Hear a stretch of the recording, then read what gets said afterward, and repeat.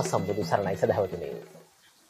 බුද්ධ දේශනාව සිත දියුණු කිරීමට මඟ හෙළි කරන දහමක් වන බැවින් සිතන ආකාරය දියුණු කිරීම බුද්ධ දේශනාව තුළ මූලික වශයෙන් උගන්වනු ලබනවා. ඒ අනුව සදහවතුනි අපිත් ඇත්ත ඇති සැටියෙන් දකිමින් සක්කාය නිරෝධයෙන් සම්මා දිට්ඨියට පිවිසෙමු. සදහැති ඔබ උතුම් පසළොස්වක පොහොය දිනේදී ශ්‍රවණය කිරීමට බලාපොරොත්තු වන නිම ධර්ම දේශනාවත් ඒ සඳහා ඔබහට මහෝපකාරී වේවා.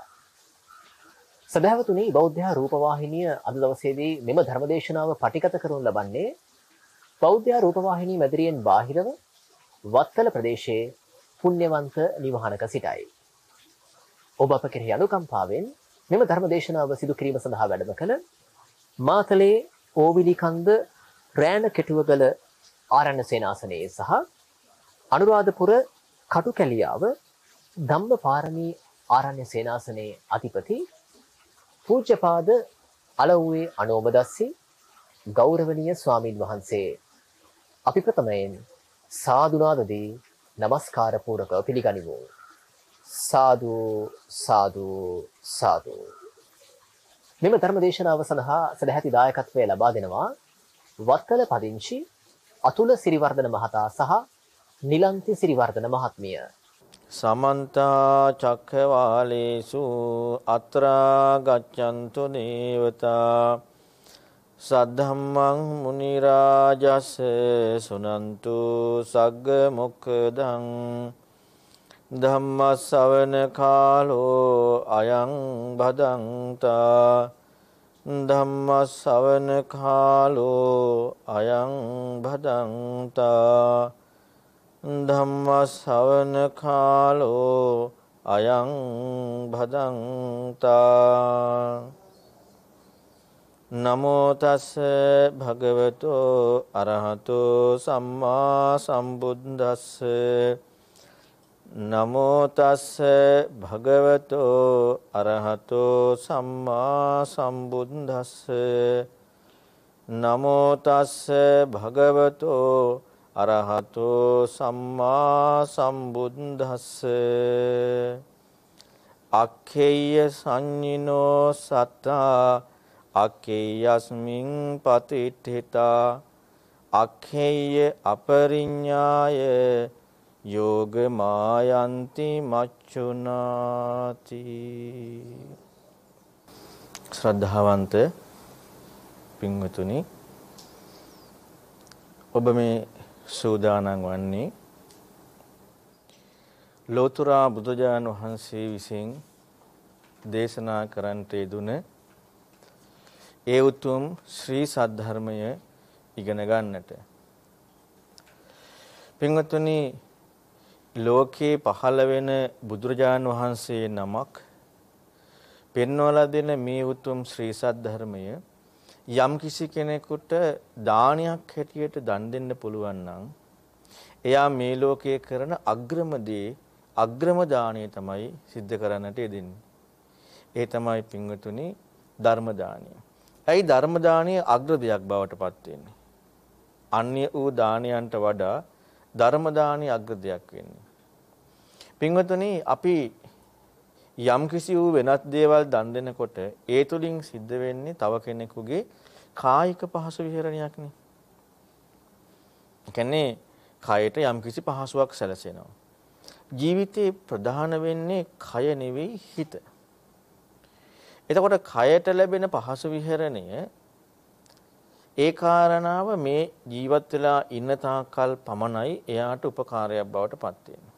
කායික පහසු විහරණය.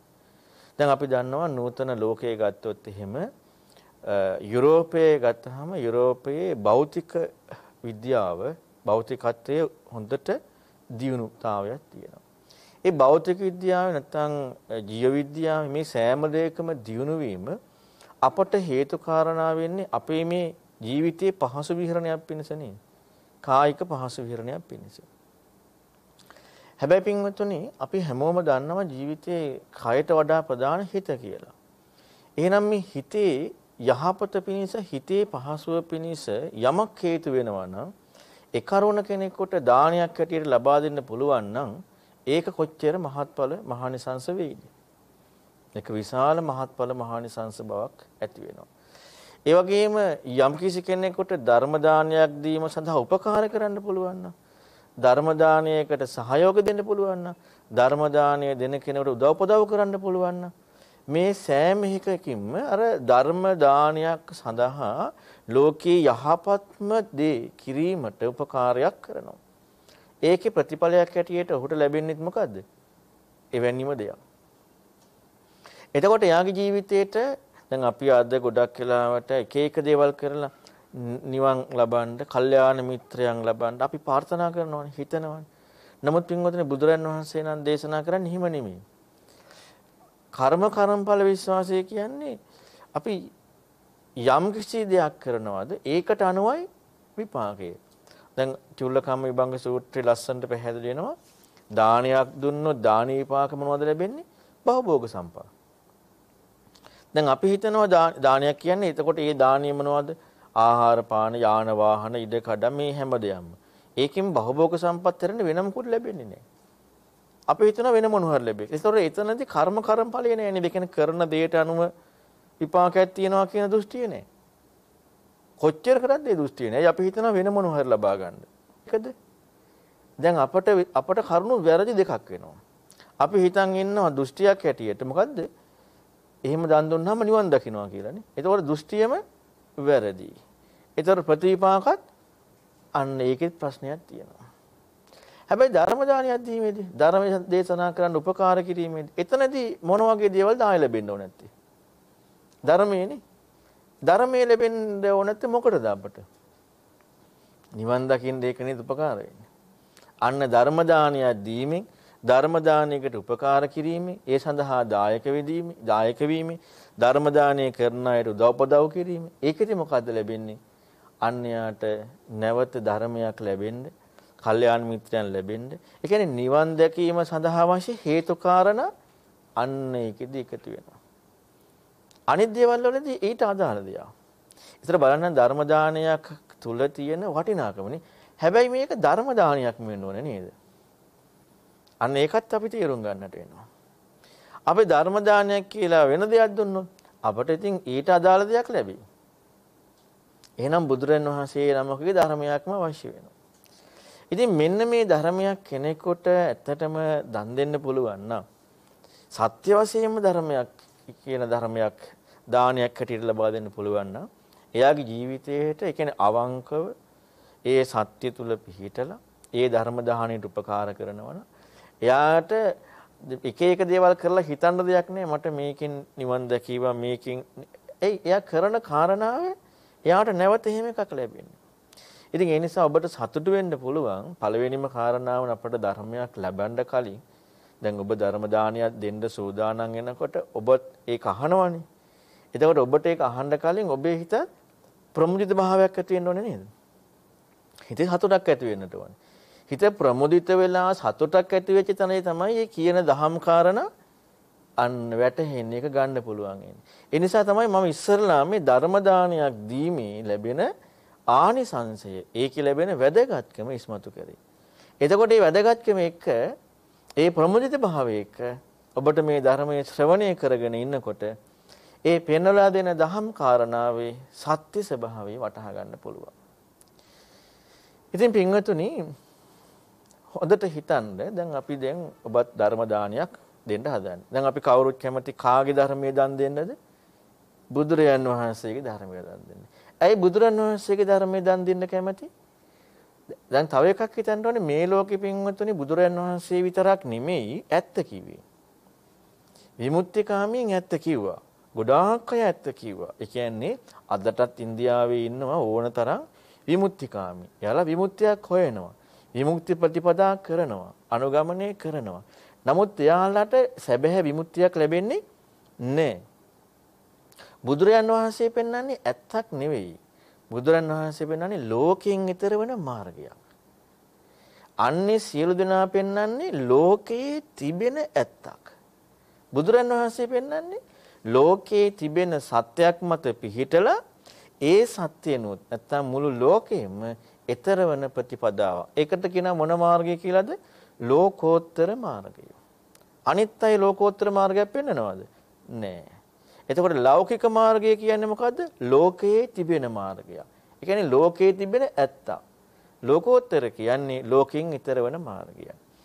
එතකොට යම් කිසි කෙනෙකුට පුළුවන්කමක් තිබුණොත් ලෝකයේ ඇත්ත, ඒ කියන්නේ ලෝකයේ ඇත්ත කියලා කියන්නේ සංසාර ගමනක් යන තැනදී මේ ජීවිතේ යහපත් කරගෙන ලෝකයේ යහපත් විදියට දකින්න විදිය ඇත්තම් පෙන්වන දහම තියෙනවනේ. එතකොට ඒ දහම බුදුරන් වහන්සේත් වදාරනවා. හැබැයි ඒක බුදු කෙනෙකුට පමණක් ආවේනික දහම නෙවෙයි. මං කියපේක තේරෙනව නේද? ඒක බුදු කෙනෙකුට පමණක් ආවේනික දහම නෙමෙයි. ඒක අන්‍ය අයත් කියනවා. හැබැයි බුදුරන් වහන්සේත් වදාරනවා. ඇයි බුදුරන් වහන්සේත් ඒක වදාරන්නේ? දැන් බුදුරජාන් වහන්සේ කියන්නේ ලෝකයේ ඉන්න කෙනෙක්නේ. එතකොට ලෝකයේ ඉන්න අයට යහපත පෙන්වා දිය යුතු නැද්ද? යහපත පෙන්වා දෙන්නට ඕනේ. ඒ අයට යහපත පෙන්වා දීලා ඒකේ උපරිම හැකියාව තියෙන අයට ලෝකයෙන් ඈතර වෙන මාර්ගය පෙන්වා දෙනවා. ඒක හැමෝටම බෑ. ඒ කියන්නේ හැමෝටම ඈතර වෙන්නත් බෑ. ඈතර වෙන මාර්ගය හැමෝටම පෙන්වා දෙන්නත් බෑ. ඈතර වෙන මාර්ගය පෙන්වා දෙන්න පුළුවන් කාටද? බුදුරජාණන් වහන්සේ නමකට පමණයි. එතකොට එහෙනම් දැන් අපි ඉගෙන ගන්නට ඕන තේ බුදුරන් වහන්සේගේ ධර්මය.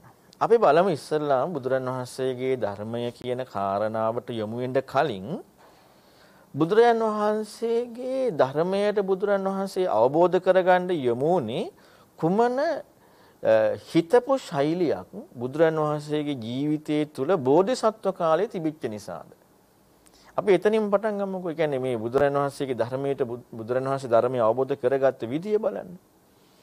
අපි හැමෝම අහලා තියෙනව නේද කතාවක් සිද්ධාර්ථ කුමාරයා ගිහි ගෙදර කල කිරිලා පැවිදි වුණා කියලා.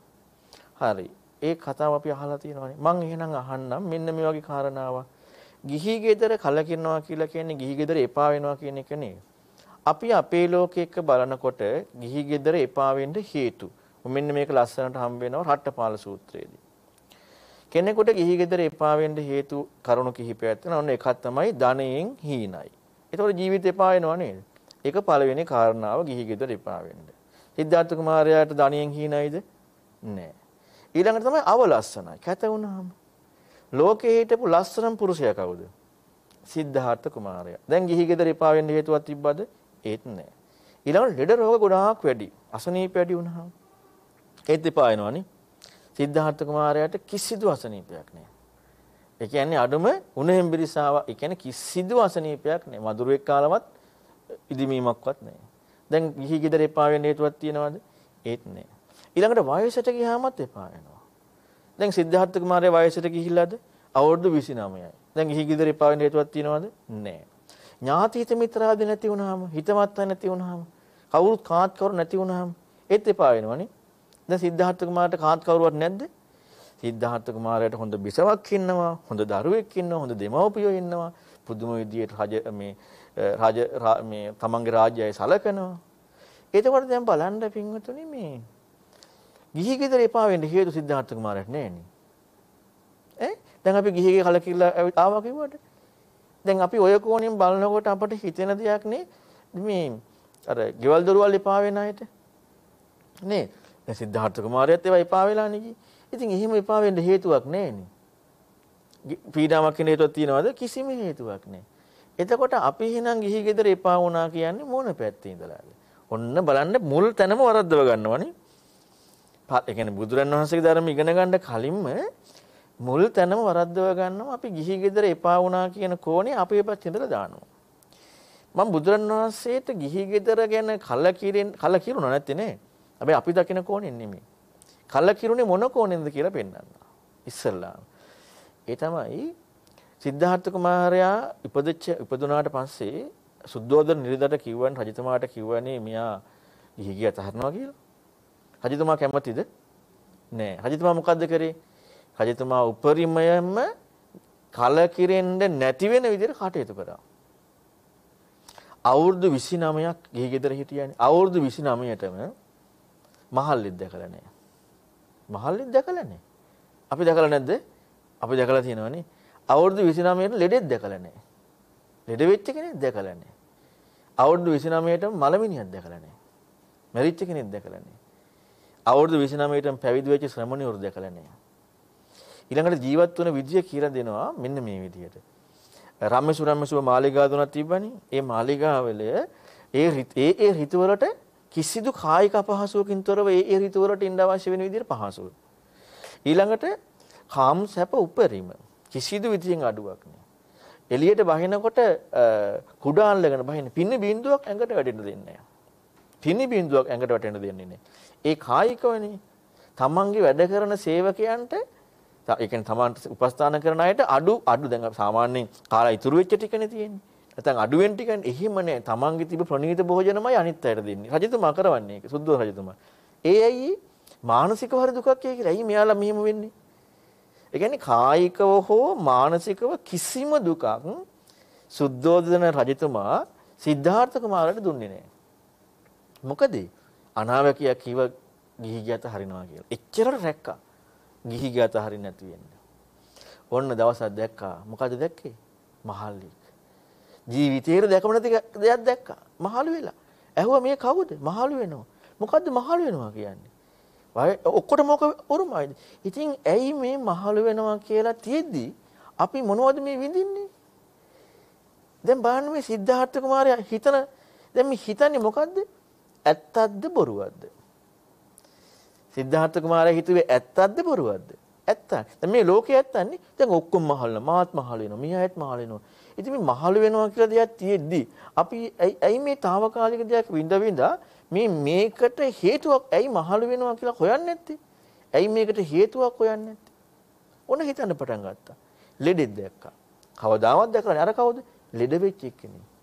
දැන් අපිට හිතෙන්න පුළුවන් එහෙම නොදකින්න පුළුවන්ද කියලා. එච්චරට සුද්ධෝදන රජතුමා ඒ විදිහට සැලැස්සුවා. ඇයි සැලැස්සුවේ? මේ අසාමාන්‍ය පුජ්‍යලේ. සාමාන්‍ය කෙනෙක් නෙවෙයි සිද්ධාර්ථ කුමාරයා කියන්නේ අසාමාන්‍ය කෙනෙක්. දැක්කනම් ගිහි ගියත හරිනවා. ඒ නිසා එච්චරට කිසිදු විදියකින් එවැනි අය නොදකින විදියට කටයුතු කරා. කවුද අර මහල් ලෙඩ වෙච්ච කෙනෙක්? අපිත් ලෙඩ වෙනවද? හැමෝම ලෙඩ වෙනවද? ඉතින් හැමෝම ලෙඩ වෙනවා නම් මේ ලෙඩ වෙනවා කියන එක ඇයි ඒක දුරු කරන්න හොයන්නේ නැත්තේ? ඇයි මේක හේතුවක් හොයන්නේ නැත්තේ? මොකද අපි මේ විදියට වින්දනය ලබ ලබා ඉන්නේ? දැන් මේ හිතන්න පෙළවුණානේ. මොකක් ගැනද හිතුවේ?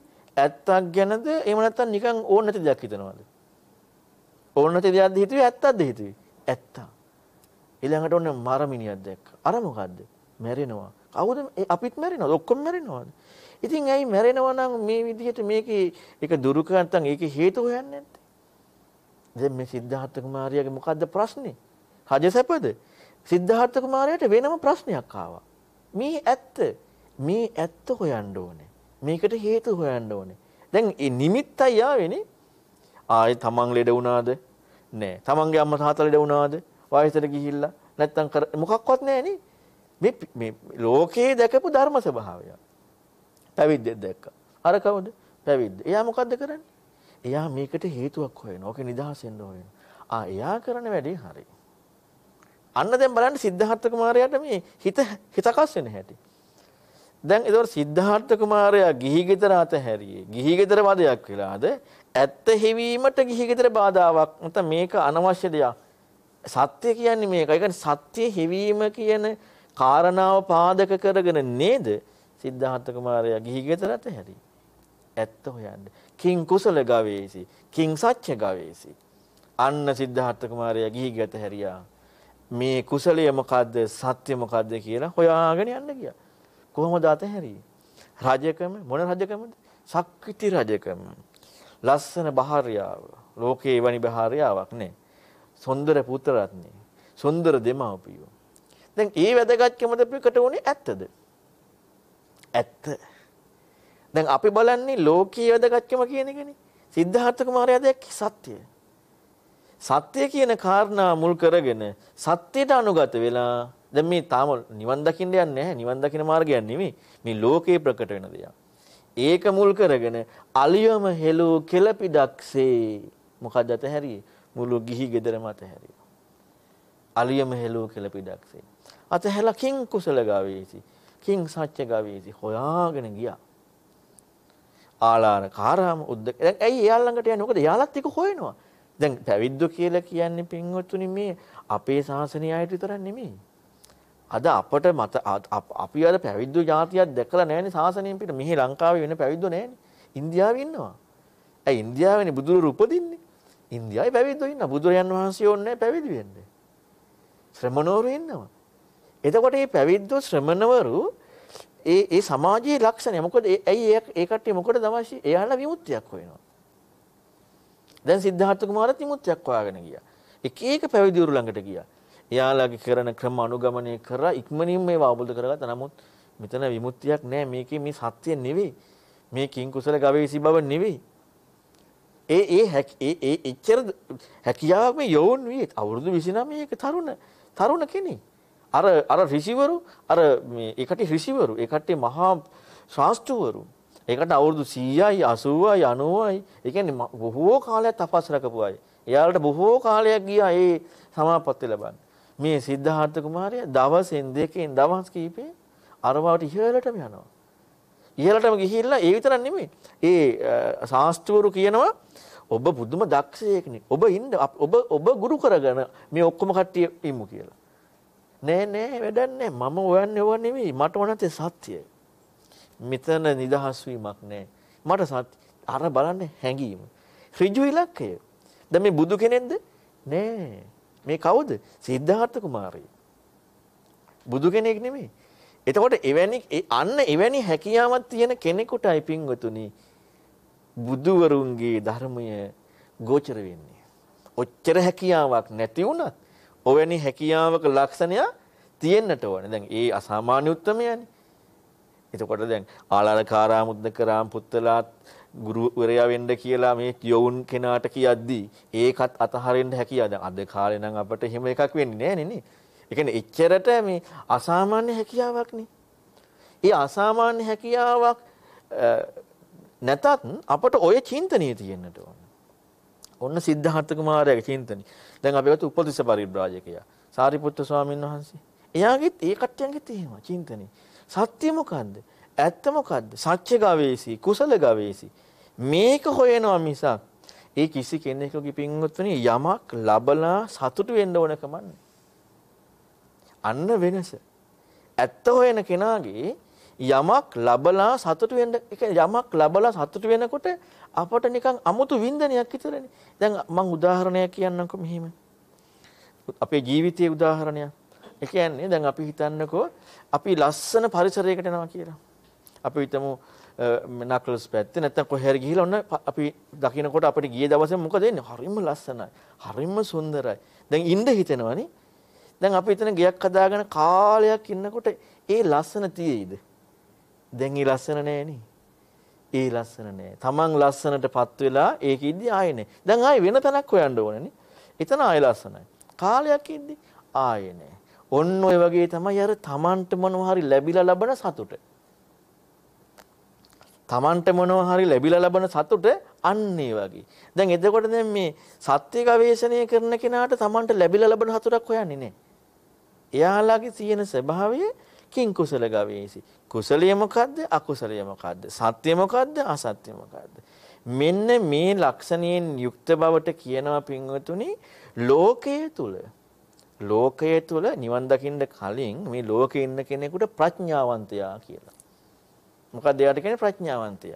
අන්න අද ඉස්මතු වුණා ලස්සනට ඒ කියන්නේ මේ ලස්සනට අර චූල කම්ම විභංග සූත්‍රය අපි මම අද කතා කරන්න දෙනවා. ඒකේ ලස්සනට ඉස්මතු වුණා ප්‍රඥාවන්තයා ප්‍රඥාවන්තයා. අන්න ප්‍රඥාව මොකද්ද? මේ ලෝකය නිවන් දකින්න එක නෙමෙයි ලෝකේ. කිං කුසල ගවේසි කිං සත්‍ය ගවේසි කියන්නේ කුසලය මොකද්ද අකුසලය මොකද්ද සත්‍ය මොකද්ද අසත්‍ය මොකද්ද ඒක ලබලද නෑ හොයන එක ලබනවනම් ලබපු දේ අපට පොඩි කාලයකින් ආය නැති වෙනවනේ. ඒතකොට අර අර මම අර කිව්ව උදාහරණය වගේ කියන්නේ අපේ ජීවිත උදාහරණයක් මම කිව්වේ. ඒ වගේ අපි මේ ලැබපු දෙයින් ටික කාලයක් යනකොට ඒක නෑ ආයි. හැබැයි අර හොයන ගතිය කියන කාරණාව. ඒක ඒක දැන් එයා ලබන එකක්ද? නෑ එයාගේ ස්වභාවය. මෙන්න මේකට කියනවා ප්‍රඥාවයි කියලා. ප්‍රඥාවන්ත භවයේ ස්වභාවය ප්‍රඥාවේ ලක්ෂණේ මෙන්න මේක. ඔන්න ඔය ලක්ෂණයේ තිබිච්ච කෙනෙකුට විතරයි පින්වතුනි පුළුවන්කමක් ලැබෙන්නේ බුදුරජාණන් වහන්සේ නමකගේ ධර්මයක් අහලා ඒකට අනුගත වෙන්න. නැත්තම් බෑ. එතකොට නම් අපි තුල ඒ කාරණාව ඉස්මතු වෙන්නට වෙනවනේ. ඒ කාරණා ඉස්මතුන් නැත්තම් අපි හැමෝම කරන දේ තමයි අපට මොනවා හරි ලබලා හතුරු වෙන්න හොයනවා. මම මේ දේශනාව ඉදිරියට කරගෙන යනකොට ඔබට තේරෙයි මේ ලෝකයා ලබලා හොයන සතුටක් එක්ක ඉන්නවා මිසක් මේ ලෝකයා විමුක්තියක් හොයමින් යන වැඩපිළිවෙලේ නෑ. ඒ කියන්නේ මේ කිං කුසල ගවේෂ චින්තනියෝස යන වැඩපිළිවෙල නේ මොනවා හරි ලබලා Tamanට සුඛිය වූ වින්දනයකින් ජීවත් වෙන්න. හැබැයි ඒක පොඩි කාලයයි. පොඩි කාලේ කල්ප ගාණක් වෙන්න පුළුවන්. නේද? දැන් අපි හිතමු කෙනෙකුට ඔන්න රිවර්ස් ටයිම් පැත්තේ ගිහිලා කෙනෙක් අවුරුද්දෙන් කෙනෙකුට ඔන්න ඒක එපා වෙනවා. කෙනෙකුට මාසෙන් දෙකකින් කෙනෙකුට අවුරුදු 10ක් 12ක් ගියාම කෙනෙකුට අවුරුදු 20 එහෙම වෙනව නේද? එක එක කාලවලදී ඒ කෙනාගේ හැටි. අන්න ඒ වගේ තමයි යම් කිසි කෙනෙකු ඒ ලබන ඒ වෙලේ ලබන සතුට සමහරලාවට අවුරුදු ලක්ෂයක්, අවුරුදු කෝටියක්, කල්පයක්, කල්ප 10ක්, කල්ප 50 එහෙම වෙන්න පුළුවන්. කෙනෙකුට මේ ජීවිතයේ ටික කාලයක් වෙන්නත් පුළුවන්. ඒ මොකද්ද Taman ලබන සතුට. හැබැයි බුදුරන් වහන්සේ පෙන්වන ධර්මයේ හිත වෙනස්. දැන් මම ඔන්න ඔබට පැහැදිලි කරා මේ ලෝකයේ යම් කිසි කෙනෙක් නුවණක්කාරයි නම් ඒ කෙනාගේ ස්වභාවය. දැන් අපි මේ මේක පොඩ්ඩක් පැත්තකින් තියලා අපි බලමුකෝ සාමාන්‍ය භෞතික විද්‍යාව පැත්ත ලෝකේ. ඒ පැත්තෙන් පවා අපි නුවණක්කාරයි කියන කාරණාව කියන්නේ මොකද්ද කියලා භෞතික විද්‍යාව පැත්තෙන්. භෞතික විද්‍යාව පැත්තෙන් අපි නුවණක්කාරයි කියන කාරණාව කියන්නේත් අපි මොකද්ද හොඳ මොකද්ද නරක කියලා හොයන ගතියක් තියෙන. හොඳ නරක කුසලයේ අකුසලයේ කියලා මොකද්ද කියලා හොයන ගතියක් තියෙනවනේ. මෙන්න මේ හොයන ගතිය. හොඳ නරක කුසලයේ අකුසලයේ මේ අර මොකද්ද අපි ගත්තොත් ඒ කට්ටිය අපි හිතමු භෞතික විද්‍යාවේ මොනවා හරි කරනමුක එයාලා ඒකේ හොයාගෙන යනවා. දැන් අපි කිව්ව පයිතගරස් ප්‍රමේයක් හොයාගත්තේ.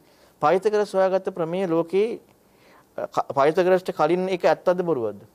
ඇත්ත. හොයාගත්තට පස්සේ ඒක යාට අයිතිලානේ. අපි හිතමු තවත් මොනවා හරි දෙයක් හොයාගෙන හොයාගෙන යනවා කියලා. ඒ හොයාගෙන යන යාලා එකක නිෂ්ඨාවකට යන්නේ නැහැ හොයාගෙන යනවා. මෙන්න මේ වගේ හොයන ගතියක් තියෙනවානේ භෞතික විද්‍යාවේ. ඒ වගේ තමයි කුසල අකුසල් කියන කාරණාව එක්කත් එයාලගේ හොයන ගතියක් තියෙනවා. නතර වෙන ගතියක් නැහැ.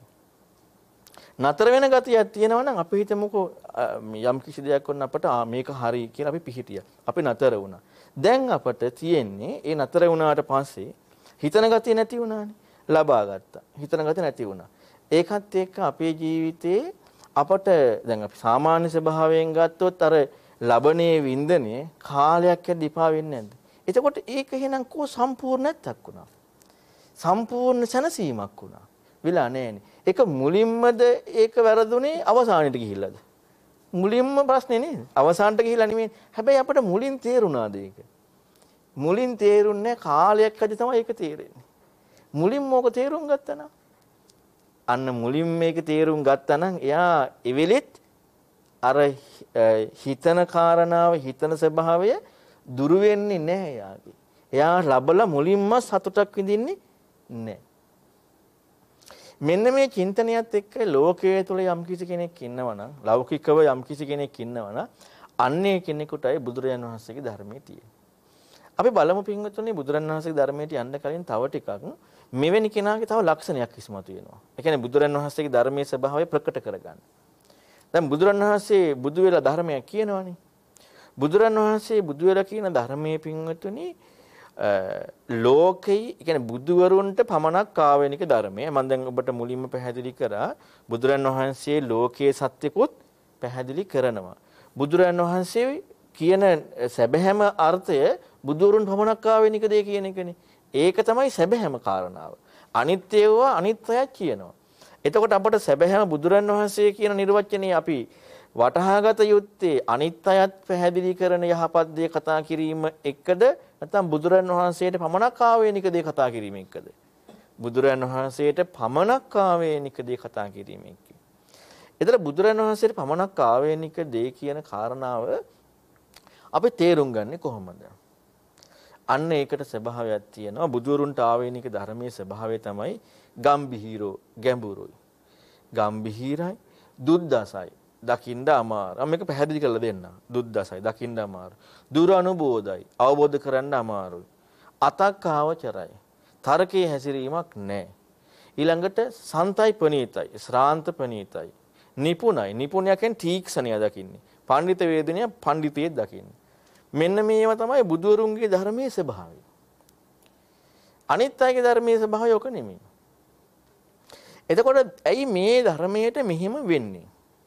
මේ ධර්මයේ මෙහෙම ගැඹුරු මේ මේ කාරණා තුළ කාරණා වලින් නිර්වචනයක් වෙන්නේ ඇයි? දැන් හිතලා බලන්නකො මෙහෙම.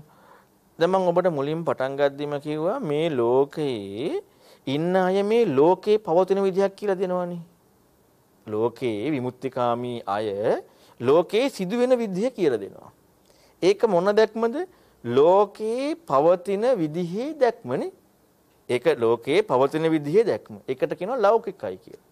බුදුරයන් වහන්සේ පෙන්ලා දෙන්නේ ලෝකය පවිතන විදිහේ දැක්මක්ද? ලෝකය පවතින විදිහේ ඒ කියන්නේ ඊතර වෙන විදිහේ දැක්මක්ද? ඊතර වෙන විදිහේ දැක්මක්.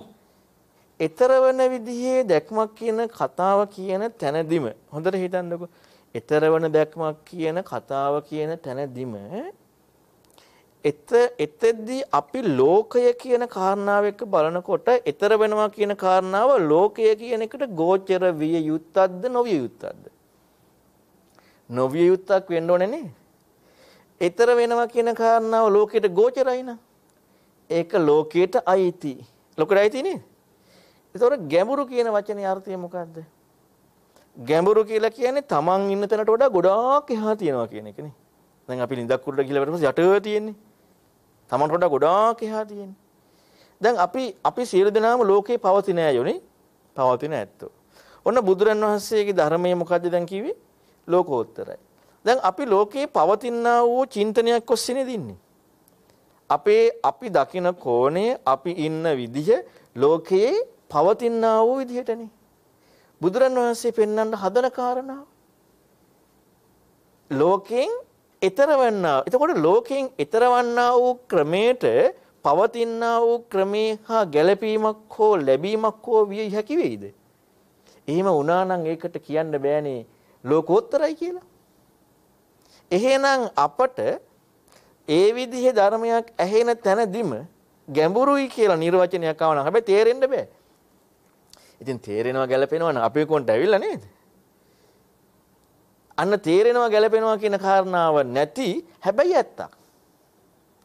අර ඒ ඒක ඇත්තක් කියලා එකට යොමු වෙන්නේ කොයි කෙනාද? අර කිං කුසල ගවේෂි. අනික් කෙනාට ඒව අදාළ නැහැනේ. අනික් කෙනා ලෝකේ සාමාන්‍යකවක්වත් හිතන්නේ නැහැනේ. අර එහෙම හිතන කෙනාට අන්න ඇත්තක් හැබැයි කියන්නේ. නමුත් අපි ඉන්න අපි අපි දකින කොනට ගැලපෙන්නේ අන්න ඒක තමයි ගැඹුරුයි කියන නිර්වචනය. හැබැයි හිතන කෙනෙක් නම් එයා එයාට දැන් හිතන්න ඕනද නැද්ද?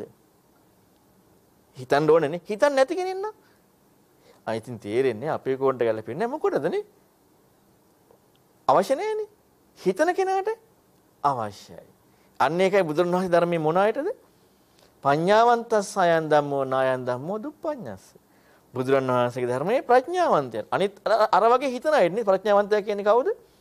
අර අන්න චූලකම් විභංගසුරේ තියෙනවා කිං කුසල. කුසලය මොකද්ද? අකුසලය මොකද්ද? සත්‍ය මොකද්ද? අසත්‍ය මොකද්ද? මෙන්න මේක හොයන කෙනාට කියන මොකක් කියලාද? ප්‍රඥාවන්තයා. එවැනි අයට විතරයි බුදුරණවහන්සේගේ ධර්මය එවැනි කෙනෙක් නැති කෙනෙක් අර විදිහට හොයන්න පටන් ගනීද? හොයන්න පටන් ගන්න ඊළඟට මම තව කාරණාවක් කියලා දෙන මේ කරුණු හත පැහැදිලි කරන්න කලින් දැන් මේ කිං කුසල ගවේෂී කෙනාගේ තව ලක්ෂණයක්. සත්‍ය ගවේෂී කෙනාගේ. මෙහිම හොයන කෙනාගේ. දැන් ඔන්න හිතලා බලන්න මෙහිම. අපට ඔන්න ඕනම කාරණාවක් යම් කිසි කෙනෙකුගෙන් ඇහෙනකොට දැන් මේක විශේෂයෙන් වැදගත් වෙන්නේ මේ ආධ්‍යාත්මික ගවේෂණය කරන කෙනෙකුට විමුක්තියක් හොයන කෙනෙකුට. ඕනම දෙයක් අපි හොයාගෙන යනකොට අපට යම් කිසි කෙනෙක් ඒකාන්තයෙන් විශ්වාසයි නම් එයා කියපු දේ පිළිගැනීම කියන එක අපට යොමු වෙනවනේ. පිළිගන්නවා එතකොට පිළිගැනීම එක්ක අපි ඒක බැහැ ගන්නවනේ. පිළිගැනීම එක්ක බැහැගෙන අපිට තියෙනවා කෝණයක් යනවා. ඉද මේව සත්‍යම්. මේක ඇත්තයි. මේක ඇත්තමයි. මේක ඇත්තමයි නම් අනික බොරුනේ. මේක ඇත්තම නම් අනික බොරු නැද්ද? මේක ඇත්තමයි නම් අනික බොරු.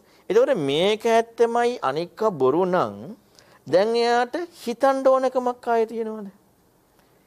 දැන් ඇත්තද ලැබිලා නේ හිතන්න ඕනකමක් නැහැ නේ. ඇයි මේක ඇත්තමයි අනික බොරු? හිතන්න ඕනකමක් ඇවිල්ලා නැහැ. නමුත් කිං කුසල ගවේෂී කෙනාට මේක ඇත්තමයි කියලා පිළි මේක ඇත්තයි කියලා පිළිගත්තට මේක ඇත්තමයි අනික බොරු කියලා පිළිගැනීම නෑ. එයාගේ මොකද තියෙන්නේ? එයාගේ තියෙනවා හිතන්න ඕන ගතිය. අන්න ශ්‍රද්ධාවෙන් යමක් යමු වුණාට එයා මෙය ඇත්තයි අනික බොරුයි කියන කාරණාවට යමු වෙන්නේ. මේක තියෙන ලස්සන චංකී සූත්‍රය. ඊළඟට තමයි රුචිය. රුචිය කියන්නේ දැන් ඔන්න අපි කැමති විදිහක් තියනවා කියලා තන්නකෝ දැන් මේක විශේෂ විමුක්තිකාමීත් එක්ක තමයි. ඈ දැන් අද සමාජයේ හිම් බැලුවොත් අපි දන්නවා අපේ කැමැත්තක් තියෙන හොඳට භාවනා කරන්න හොඳට එකඟ කරගෙන ඉන්න හොඳට ඉඳගෙන ඉන්න. අපිට තියෙන අපේ කැමැත්තක් නේ. මොකක් හරි එකක්. දැන් අපේ කැමැත්තට අනුවම මොනවා හරි කියනකොට අපට ඒක ගැලපෙනවනේ දැන් අපි අපි හිතමු අපි හිතන ක්‍රමයක් එක්ක හරි. දැන් අපි හිතන ක්‍රමයට ඔන්නේ හොඳට ගැලපෙනවා අපි ඒකට අනුගත වෙනව නේද? එතකොට ඒක ඇත්තනේ ඒක ඇත්තනේ ඒ කියන්නේ මේකමයි ඇත්ත. අනික බොරු. ඇයි දැන් තමන්ගේ ක්‍රමයට ගැලපුණානේ? අන්න ඒ ඒකින් ඒ විදිහට යන්නේ කවුද? අන්න කිං කුසල ගවේසී නැති කෙනා. ඇත්ත ඒ කියන්නේ කුසලයේ මොකද්ද අකුසලයේ මොකද්ද කියලා මේ හොයන්නේ නැති කෙනා. හොයනවා නම් එයාට අන්න ඒක නතර වෙන්නේ. දැන් ඒක නතර වුණා නම් එයාට එයාට ආයේ ඇතුලෙන් හොයන්න එකක් තියෙනවද? දැන් දෙක සමානයි. හරියට ප්‍රහෙලිකාවක් විසදලා ඉවරනට පස්සේ ඉවරනවා වගේ. ගානක් හදලා ඉවරනට පස්සේ දැන් එයාට ගැටලුවක් නෑ නේ හපවනේ. ප්‍රශ්න ඉවරයි. අන්න ඒ වගේ වෙනවනේ. ඒතකොට එයාට කිං දැන් ප්‍රඥාව කියලා කියන්නේ පින්වතුනි මේ ලෞකික කතා කරනකොට කිං කුසල ගවේෂිකමට මිසක් මොනවා හරි ලැබෙන එකට නෙමෙයි. දැන් එයාට ලැබුණාට පස්සේ රුචියෙන් අනුගත වෙලා දැන් එයාට කිං කුසල ගවේෂි හොයන්න ඕන දහපව. කුසලයක් හොයන්න ඕනේ නැහැ. ඒ කියන්නේ ප්‍රඥාව නැහැනේ. ඒ කාරණාව තුලම කියවෙනවා ඒකට අනුගත වෙලා එයම ඇත්තයි කියලා ගත්තා කියන එකේම ප්‍රඥාව නැහැ කියලා. ප්‍රඥාව කියන නිර්වචනේ ඉන්නේ කුසලයේ මොකද්ද අකුසලයේ මොකද්ද? හොඳ මොකද්ද නරක මොකද්ද? යහ එතකොට මේක හොයන කාරණාව නැති වුණා කියන්නේ කැමැති දේ කනුගත වෙනකොට ඒ කිනාට ප්‍රඥාව නැහැ. අන්න රුචියට අනුගත වුණා. ඊළඟට තමයි තව කට්ටිය ඉන්නවා ඔන්න අනුශ්‍රවය. අනුශ්‍රවය කියන්නේ දැන් ඔන්න අහලා දැනගත්තදී. දැන් ඔන්න අපි ඔන්න හිතන්න අහලා අපට අපි දැනගත්ත දේවල් තියෙනවා. ඒකත් එක්ක ෂෝකයට ගැලපෙනවා. අහලා දැනගත්ත දෙකත් එක්ක හරියටම දැන් ඒක ඒකත් එක්ක යමු වෙලා ඉන්නකොට මොකද වෙන්නේ? ඒ එතකොට ඒක හරි නේද? දැන් අපි අහලා දැනගත්ත දේවල් එක ඇහෙන දේ දැන් හරි. දැන් හරි වුණාට පස්සේ මොකද්ද කුසලයේ මොකද්ද අකුසලයේ කියලා හොයන ගතියනවද? ඒ හොයන ගතියටයි ප්‍රඥාව කියන්නේ. ලෞකික ලෝකේ ප්‍රඥාව කියන්නේ ඒකට වෙන එකකට නෙමෙයි. දැන් ඒ හොයන ගතිය නෑ කියන්නේ මෙයාට ප්‍රඥාව තියෙනවද නැද්ද? ප්‍රඥාව නෑ. අන්න අනුශ්‍රවයෙන් එකක් හොයාගෙන ඒකට බැහැගත්ත කියන්නේ මොකද්ද? අන්න ප්‍රඥාව නෑ. එයා මේ ඇත්තයි කියලා ගත්ත එයාට ප්‍රඥාව නෑ. එයාට තපද කරන්න බෑ. මොන සද්ධාව, රුචිය, අනුශ්‍රව. ඒකට ආකාර පරිවිතක්කේ. ඔන්න බලන්නකො ඊළඟ එක. දැන් අපි කල්පනා කරන ක්‍රමයක් තියෙනවානේ. ඒ කියන්නේ අපි අපේ අපි හිතාගෙන යන ක්‍රමයක් තියෙනවා. අපි හිතාගෙන යන ක්‍රමයටම යම් කිසි කෙනෙක් කරනවා කියනවා. හරියට මේකට ගැලපෙනවා. අපි දැන් ඒකට දැන් අරවට වඩා ඒකට අනුගත වෙන එක වැඩිනේ. දැන් අනික් කොන සාමාන්‍ය පොඩ්ඩක් කතා කරන්නට පුළුවන්. නමුත් අපි හිතාගෙන යන ක්‍රමයටම යම් කිසි දෙයක් ගැළපෙන ක්‍රමයක් කිව්වොත් අපි අනුගත වෙන්නේ නැද්ද? ඒකට පුදුම විදිහට අනුගත වෙනවා. ඒකට අනුගත වුණාට පස්සේ ආයෙ හොයන්න ඕනද කුසලයේ මොකද්ද අකුසලයේ මොකද්ද? හොයන්න ඕනේ නෑනේ. හොයන ගතිය නැති වුණා කියලා කියන්නේම ප්‍රඥාව නෙමෙයිනේ. ප්‍රඥාව නෑ. අන්න එයාටත් ප්‍රඥාව නෑ. එයත් ඒක බැහැගත්තා. ඊළඟට අවසානයේදීම පෙන්නනවා ආකාර පරිවිතක දිට්ඨි නිඥානක්ඛන්ති. ඒ කියන්නේ අපට තියෙනවා යම් කිසි විදිහකට දකින දැකලා निराවුල් වෙලා අපි දකින කෝණයක් තියෙනවා. අපිට ඒක හරියටම හරි. ඒ කියන්නේ අපට අපේ දිට්ඨි කියන්නේ දකින විදිය, නිඥානක් කියන්නේ හරි. ඒ කියන්නේ දකින විදිහ අපට निराවුල් වෙච්ච ක්‍රමයක් තියෙනවා. හරියටම හරි. දැන් ඒකට ඕන විදිහට යම් කිසි කෙනෙක් කියන ක්‍රමයක් ආවහම අපි අපට අපි දකින විදිහ निराවුල් වෙච්ච ක්‍රමයට යමක් ආවම අපට ආයේ තව කෙනෙක් එකක් හොයන්න ඕනේද? නැති වෙන්නේ මොකද්ද? කුසලිය මොකද්ද? අකුසලිය මොකද්ද? හොයන එක නැහැ. ඒක නැති උනේ මොකද්ද? ප්‍රඥාව නැහැ. මෙන්න මේ අයට බෑ. ඔය විදිහට සද්ධා රුචි අනුසව ආකාර පරිතක්ක දිටිනිච්ඡානක්ඛන්ති කියන මේ පහට යමක් යොමු වෙලා එයම ඇත්තයි අනික්ක බොරුයි කියන මේ කෝණේ නැතුව සත්‍ය හොයන කෙනාටයි කාගේ ධර්මයේ තියෙන්නේද? බුදුරජාණන් වහන්සේගේ ධර්මයේ තියෙන්නේ. අන්න ඒක ලස්සනට චංකි සූත්‍රයේ පැහැදිලි වෙනවා. අන්‍යයටයි බුදුරණවහන්සේගේ ධර්මයේ තියෙන්නේ. එතකොට දැන් මෙන්න මේ විදිහට යම් කිසි කෙනෙක් මොකද වෙන්නේ? මෙහෙම දැන් ඔහොම හොයන කෙනෙක් ඉන්නවා.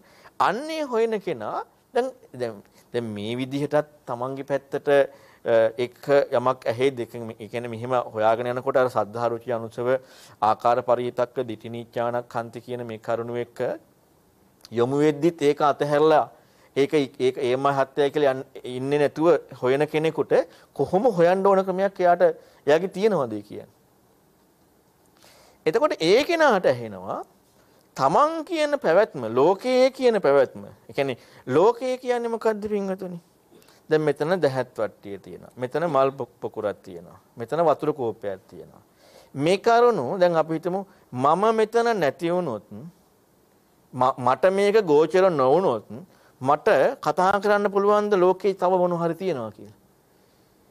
එක් අපිට හිතන්න වෙනවානේ. දැන් ඇස කන නාසය දිව කය මනස කියන මේ කාරණු ටික කතා කරන්න බැරි වුණොත් අපට තියනවා කියන හෝ නෑ කියන හෝ. දැන් නෑ කියන්නෙත් ඇයි? ආයෙත් මනසින් හිතලානේ. ඒ කියන්නේ කතාව ඉක්මනවනේ. එහෙනම් ලෝකය කියලා කියන්නේ මොකද්ද? මේ තමන් කියන කාරණාව එක්කනේ. ඒතර අපි එහෙනම් ලෝකයේ දිහා දකින දෘෂ්ටිය කියලා කියනකොට මොකක් එක්කද? තමන්ගේ පැවැත්ම එක්ක දකින දෘෂ්ටියක් නේ. ලෝකය කියන පැවැත්ම කියන දකින දෘෂ්ටිය කියන්නේ මොකද්ද? තමන්ගේ පැවැත්ම කියන දකින දෘෂ්ටිය. ලෝකයෙන් ඈතර වෙනවා කියන දකින දෘෂ්ටිය කියන්නේ. තමන්ගේ පැවැත්මෙන් ඈතර වෙනවා කියන එක නේද?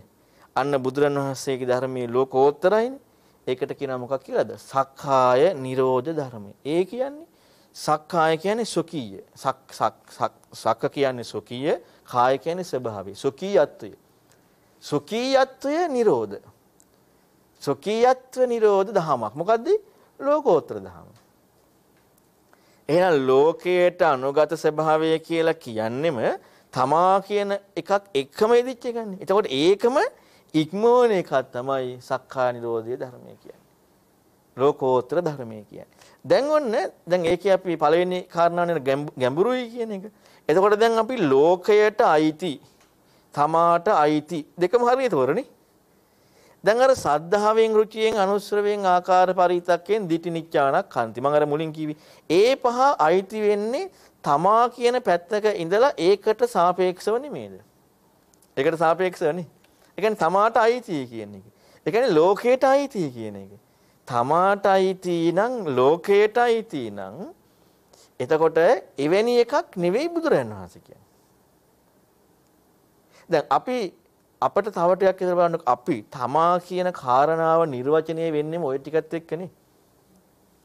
ඉතින් ඔය ටික එක නිර්වචනය වෙන්නේ නැත්නම් අයම ඒකට කියන්න වෙනවා ඒක කියන්න දෙයක් නැහැ ගැඹුරුයි නේ. දැන් වචනකින් හරි අපිට හම්බ වෙනවා නම් ඒක ආයෙ හම්බෙන්නේ කාටද? Tamanටනේ. Tamanටනේ ආයෙ හම්බෙන්නේ. මම මේක ලස්සනට පැහැදිලි කරලා දෙන්න මේකේ මොකද්ද මේ කියලා දෙන්නේ කියලා. අන්න ගැඹුරුයි කියන්නේ ඒකත් එක්ක. ඊළඟට තමයි බුදුරණවහන්සේ ධර්මයේ ගැඹුරුයි. ඊළඟට තමයි ඔය ගැඹුරු කියන වචන නිර්වචනය වෙනකොටම දකින්න දුෂ්කරයි කියන වචන දෙයක් ඉදෙනව නේද? ඒ කියන්නේ දැන් දැන් අපිට අපේ අපේ තියෙන ස්වභාවයත් එක්ක අනුගතයි නම් අපිට මේක පහසුයි කියන නිර්වචනය කියනවා. නමුත් අපේ ස්වභාවය කියන කාරණා අනුගත නැහැ කියනකොටම දකින්න අමාරු කියන එකෙන් නැද්ද? දකින්න අමාරුයි. ඒ වගේම අවබෝධ කරගන්න අමාරුයි. ඒ විතරක් නෙමෙයි. මේකේ ස්වභාවයක් තමයි පින්වතුනි තරකාවචර නැහැ. තරක නැහැ නෙමෙයි. දැන් අපි පටලවා ගන්නවා. බුදුරන් වහන්සේ ධර්මයේ තරක කරන්න එපා කියලාත් නැහැ, තරක නැහැ කියලාත් නැහැ. අතක්කාවචර. චර කියන්නේ හැසිරෙනවා. තක්කාවචර කියන්නේ තරකේ හැසිරෙනවා. අතක්කාවචර කියන්නේ තරකේ හැසිරීමක් නැහැ. අපි අද කතා කරනවා තර්ක කරන්නේ කියලා. තර්කයේ හැසිරීමක් තියෙන්නේ ඒක තර්කයක් තියෙන්නේ තර්ක කරන්න ඕන පසුබිමක් දුන්නොත් නේද? තර්ක කරන්න ඕන පසුබිමක් ලැබුණ නැත්නම් තර්කයක් තියනවද? එහෙනම් තර්ක කරන්නේ නැහැ කියලා කියන්න දෙයක් නැහැ නේ. තර්ක කරන්නේ නැහැ කියන එක ලාමක අදහසක්. ඒ කියන්නේ තර්ක කරන්නේ නැහැ කියලා කියන්න ඕනේ නැහැ තර්ක කරන්න පසුබිමක් හම්බුනේ නැත්තම්. ඇයි තර්ක කරන්න පසුබිමක් නැත්තේ? තරකය කියන එක යෙදෙන්නේ පින්වතුනි අපේ ඌ පැවැත්ම කියන කෝණයක් තියෙනවනේ. මේකයි ඒ ඇහෙන දෙයි එක දාන සංසන්දනාත්මක බැලීමක් නේ තරකය කියන්නේ. තරකය කියලා කියන්නේ අපේ මේ අපි දකින විදිහක් තියෙනවනේ. අපි පවතින විදිහක් තියෙනවනේ. ඒකයි තව එකක් හරි ඇහෙනවා නම් අපිට බුදුරණවහන්සේ ධර්මය ඇහෙනවා කියලා මේ ඇහෙන එකත් එක්ක සංසන්දනාත්මක හිතීමක්නේ. ඔකයි තරකය කියන්නේ. බුදුරණවහන්සේ ධර්මයේ තරක අතක්කාවචර කියන්නේ තරකාවචර නෑ යෙදෙන්නේ යෝනිසෝ මනසිකාරය. එතකොට මෙතන මොකද්ද මේ වෙන්නේ? මෙතන මේ පෙන්නන කාරණා එකක්වත් අපේ පැත්ත කියන කාරණාව එක ගලපඬ හිතඬ යොමු වෙන්න ඉඩක් නැහැ. ඉඩක්ම නැහැ. අන්න එකයි වෙනස තියෙන්නේ. මම ඕකට දේශනා තුළින් උදාහරණ කියපෙකුත් ඔබට පෙන්වන්න. ඉඩක්ම නැහැ. හැබැයි අපි ඕකට ඉඩක් දාගන්නවා. අපි ඉඩක් දාගන්නේ බුදුරන් වහන්සේ සම්මා සම්බුදු නැති නිසා. ඒ කියන්නේ අපේ පිළිගැනීම තියෙනවා. බුදුරන් සම්මා සම්බුදු නැහැ කියලා පිළිගැනීමක් තියෙනවා. ඒ තියෙන නිසා තමයි අපි ඉඩක් හදාගන්නේ. සම්මා සම්බුදුයි පිළිගැනීම තුන අපිට ඉඩක් කියන්නේ නැහැ. බුදුරන් වහන්සේ හරියට ධර්මයේ කියලා නැති නිසා. බුදුන් වහන්සේ හරියට ධර්මයේ කිව්වනම් ඒත් අර ඉඩ එන්නේ නැහැ. අපි ඒකට ඉඩක් හදා ගන්නවා අපේ කෝණේ අපි කියන්නේ හැබැයි බුදුන් වහන්සේ හරියට කිව්වේ නැහැ කියලා කියන්නේ. හරියට කිව්වා කියලා කියන්නේ. හැබැයි අපේ කෝණේ ඒක. බුදුන් වහන්සේ සම්බුදු නැහැ කියන කෝණේ තමයි තියෙන්නේ. ඒකත් එක්ක තමයි අපට අර ඉඩ හැදිලා තියෙන්නේ අර තරකයකට යෙදෙන විදිහට. තරකයකට නොයෙදෙන විදිහක් බුදුන් වහන්සේ කියපු ධර්මයේ. ඔන්න අතක් ආවචරයි. ඒ වගේම තමයි මේ මේක හැමෝම මේ ධර්මය අහන්නේ නේද? අර අර කිං කුසල ගවේෂකයානේ අහන්නේ. අනික් කෙනාට ඔය හිතන්න ඕනේ නේනේ. හිතන්න ඕනේද? හිතන්න ඕනේ. එයාට සද්ධා රුචි අනුසව ආකාර පරිවිතක්ක දිටිනිච්චානක් අදින් හමුනනම් ඇති යාට හිතන්න ඕනේ. හිතන කෙනාටයි මේ ප්‍රශ්නේ තියෙන්නේ. එයාට මේක සත්‍යයක්. එයා හිතාගෙන යනවා. එයා මේක හිතනවා. එයාට ඒ හිතීම දැන් එයා එයාගේ ලක්ෂණේ හිතීම කියන කෘත්‍ය නේද? එයාට හිතන්න දෙයක් ලැබීමෙන්ම එයාට සතුටක් නැද්ද? දැන් හිතන්න දෙයක් දැන් අපි හිතමුකෝ හිතන්න ඕන කෙනෙකුට හිතන්න දෙයක් නොලැබුණාම ඒක නිකන් මොකද්ද වගේනේ හිතන්න ඕන කෙනෙකුට හිතන්න දෙයක් ලැබෙනකොට උත්තරයක් නැහැ හිතන දැන් එයාගේ කෘත්‍ය හිතන එක. කිං කුසල ගාවේසි. එතනම සතුටක් නේද? සාන්ත ප්‍රණීත නැද්ද ඒක? එවැනි කෙනෙකුට සාන්තයි ප්‍රණීතයි. ඊළඟට මේක නිපුණ තීක්ෂණ බවක් ඕන කියන එක. දැන් අපිට හිතමු අපේ ගෝචරත්වයේ කොහෙන් හරි මේක හම්බෙනවා නම් කොහෙන් හරි හම්බෙනවා නම් ඒ කියන්නේ අපට අර තීක්ෂණ කියන වචනේ දාන්න ඕනේ නිපුණත්වයේ කියන එක. නිපුණයි කියලා කියන්නේ එච්චර නිපුණ බවක් දක්ෂ භාවයක් ඕනේ. එච්චර පඬිතු භාවයකින් දකින්න. ඔන්න මම ඔබට බුදුරන් වහන්සේගේ ධර්මයේ ස්වභාවය කිව්වා. ඒ ස්වභාවය ඒ විදියට යොමු වෙන්නේ කවුද කියන එකත් කිව්වා. හැමෝටම මේක ගෝචර නෑ. එතකොට එහෙනම් එයාට තියෙන්නට ඕනේ කුසලයේ මොකද්ද අකුසලයේ මොකද්ද හොයන්න ඕනේ ගතිය. ඒක ලැබෙන එකක් නෙමෙයි ඒක හොයන එක. ඒ හෙවීමේ ගතියම තියෙන්නට ඕනේ ඊළඟට එයාට තියෙන්නට ඕනේ ඒ ධර්මයේ ඇහෙන්නට ඕනේ. මේ දෙක එකට සම්බන්ධ වුණාම මේ කෙනාට අර ධර්මයේ ඇහෙන කෙනා ගැන කොහොම ලෙන්ගතුකමක් තියෙයිද? ඇයි අසාමාන්‍ය ලෙන්ගතුකමන්නේ? ඇයි අසාමාන්‍ය ලෙන්ගතුකමක් කියන්නේ? අන්න එකට කියනවා සද්ධාව. එයාට සද්ධාව උපදින්නේ. සංකි සූට් එක ලස්සනට පැහැදිලිනවා. ඇයි එයාට සද්ධාව උපදින්නේ? එයාගේ හිතන ශෛලියට හිතන්න ඕන විදිහේ හිතන ක්‍රමයක් ඉස්මතු වෙනවා. හිතන්න ඕන දෙයක් හම් කියන්නේ හිතලා ලබලා ලබන්න ඕන දෙයක් නෙමෙයි. එයාගේ හිතන ශෛලියට ස්වභාවය හම්බ වෙනවා. අන්නේ ධර්මයේ කියන කෙනාට තමයි බුදුරන් වහන්සේගේ ධර්මයේ කියන කෙනෙක් බවට පත් වෙන්නේ. නැත්නම් අපි මොනවා හරි කරලා අපි හතුටු කරවන්න දෙන එකට එහෙම නෙමෙයි. අපට මොනවාරි කරන්න පුළුවන් නම් වඩන්න පුළුවන් නම් ඒ ඒක ඒක ලෝකෝත්තර නෙමෙයිනේ. ඒක අපි කරන එක. නියර සද්ධා රුචි අනුසම ආකාර පරිවිතක්ක දිටි නිච්චානක්කන්ත කියන්නේ. එහෙම එකකට නෙමෙයි. එතකොට මෙවැනි චින්තනයක් තියෙන කෙනෙකුට අන්න සද්ධාවෙන් එළබෙනවා. ඒ කාර්යය අහපව අපි බලෙන් කියන්න ඕනේ නෑ යාට. බලෙන් කියන්න ඕනේද? නෑ. ඇයි එයාට තියෙනවා එච්චරටම සද්ධාවෙන් එයා ළඟට එළබෙන්න ඕනේ. සුහඳ සීදීත් වෙන්නට ඕනේ. කන් යමාගෙන අහන්නට ඕනේ. අන්න කල්යාණ මිත්‍ර සම්පවංක බව කන් යමාගෙනම අහනවා. පෛරුපාසනේ. ඒක හරියටම අහගෙන ඉන්නවා. එච්චර ඕනකමක් තියෙනවා. ඒ සියල්ලක්ම යා තුළ ඇති වෙනවා කෙනෙකුට කියන්න දෙයක් නැහැ. අර කෙනාට අන්න ඒකත් එක්ක ධර්මය අහනකොට එයා අවබෝධය කරා යනවා. අනිත් කෙනෙක් අවබෝධය කරා යන්නේ නෑ. මේ කෙනෙකුට විතරයි පුළුවන් බුදුරන් වහන්සේගේ ධර්මයේ අවබෝධය කරා යන්නේ. දැන් මම ඔන්න ඔබට පැහැදිලි කරලා පෙන්නුවේ මේ ටික ටිකින් ටික පැහැදිලි කරලා පෙන්නන්නම් බුදුරන් වහන්සේගේ ධර්මය කියන්නේ මොකද්ද ධර්මයට යොමු වෙන්න පුළුවන් කෙනා කවුද? ඔය දෙන්න එක්ක නේද මේ ධර්මයේ තියෙන්නේ. ඔය ඔය ඔය දෙකත් එක්කනේ. ඔය දෙකත් එක්ක තියෙන සිද්ධියට කියනවා මොකද්ද? කල්යාණ මිත්‍ර ඇසුර සද්ධර්ම ශ්‍රවණි යන්න පිටින් ආවා. යෝනිසෝ මනසිකාරය ධම්මාන දම්පටපද ඇතුලෙන් ආවා. මේ දෙක එකතු වීමේ දුන නිර්වචනය. කල්යාණ මිත්‍රලගෙන්තර ඔය ධර්මය ඇහෙනවද? නෑ. යෝනිසෝ මනසිකාරයක් ඉස්මතු වෙලා ඒ අනුව ප්‍රතිප ඒ අනුව ප්‍රතිපදාව කියන්නේ දැන් මොකද්ද මේ ධර්මය? මේ ධර්මය ලෝකේ පවතින විදිහක්ද නෑනේ. මේ ධර්මයේ සක්කාය නැත්නම් තමාව තහවුරු වෙන විදියක්ද නෑ. එහෙනම් ධම්මානුධම්ම ප්‍රතිපදාවේදී ලෝකේ හම්බෙන්න පුළුවන්ද? බෑනේ. හම්බුණා නම් ඒක බුදුරණන් වහන්සේගේ ධර්මයේද? එනේ ඒක ලෝකෝත්තර කියන්න බෑනේ.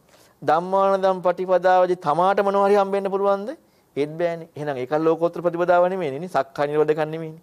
එහෙනම් ඒ ධම්මානුධම්ම ප්‍රතිපදාවේදී ඒ ධර්මයේ එක්ක යෙදෙනකොට තමාට ලැබෙන දෙයක් වෙන්න බෑ තමා අත්දකින්න දෙයක් වෙන්න බෑ ලෝකයට හම්බෙන දෙයක් වෙන්න බෑ. එහෙම වුණා නම් ඒක බුදුරන් වහන්සේගේ ධර්මයේ නෙවෙයි. ඒක අහලා නෑ. නමුත් අද අපට ඕනත් ඔය වගේ ඇඟට දැනෙන්න කරන දෙයක් නෙමෙයිද අද ඕනත් ඇඟට දැනෙන්න කරන්න නේද? තමන්ට හම්බෙන තමන්ට වඩන්න පුළුවන් තමන්ට තේරෙන ලෝකේ ඒක නේද ඕනත්තේ? ඒ කියන්නේ අපිට බුදුරන් වහන්සේගේ ධර්මය ඕනේ නෑ නේද සරලව ගත්තොත් ඒක නේද සරලව ගත්තොත් අපට බුදුරන් වහන්සේගේ ධර්මය ඕනේ නැහැ. අපට සක්කා නිරෝධ ධර්මයක් අවශ්‍ය නැහැ. අපට ලෝකෝත්තර ධර්මයක් අවශ්‍ය නැහැ. අපට වෙන මොනවා ටිකක් තිබ්බනම් ඇති. ඒකනේ සරලම කාරණාව. අපි නමුත් කටින් කියනවා අනේ බුදුරන් වහන්සේ ධර්මය ඕනේ. ඇතුලෙන් අපෝ එපා. ඇතුලෙන් එපා. කටින් කියනවා මට බුදුරන් වහන්සේ ධර්මය ඕනේ. හැබැයි සක්කාය නිරෝධ ධර්මයක් අම්ම ඉවනම් එපා. ලෝකෝත්තර ඉවුව එපා. අපට ඕනත්තේ බුදුන් වහන්සේ ධර්මයක් තමයි. හැබැයි සක්කාය තහවුරු වෙන ලෝකෙට අයිති. ඉතින් ඒකට බුදුරණවහන්සේ ධර්මයක් කියන්න බෑනේ. ඒකට කියන්න පුළුවන් සිද්ධාර්ථ කුමාරයාගේ ධර්මයක් කියලා. නේ? සිද්ධාර්ථ කුමාරයා ලෝකේ ශ්‍රේෂ්ඨ කෙනෙක්නේ. ඉතින් මේ සිද්ධාර්ථ කුමාරයා කියපු කාරණාව කොන්න ලෝකේ තහවුරු වෙන.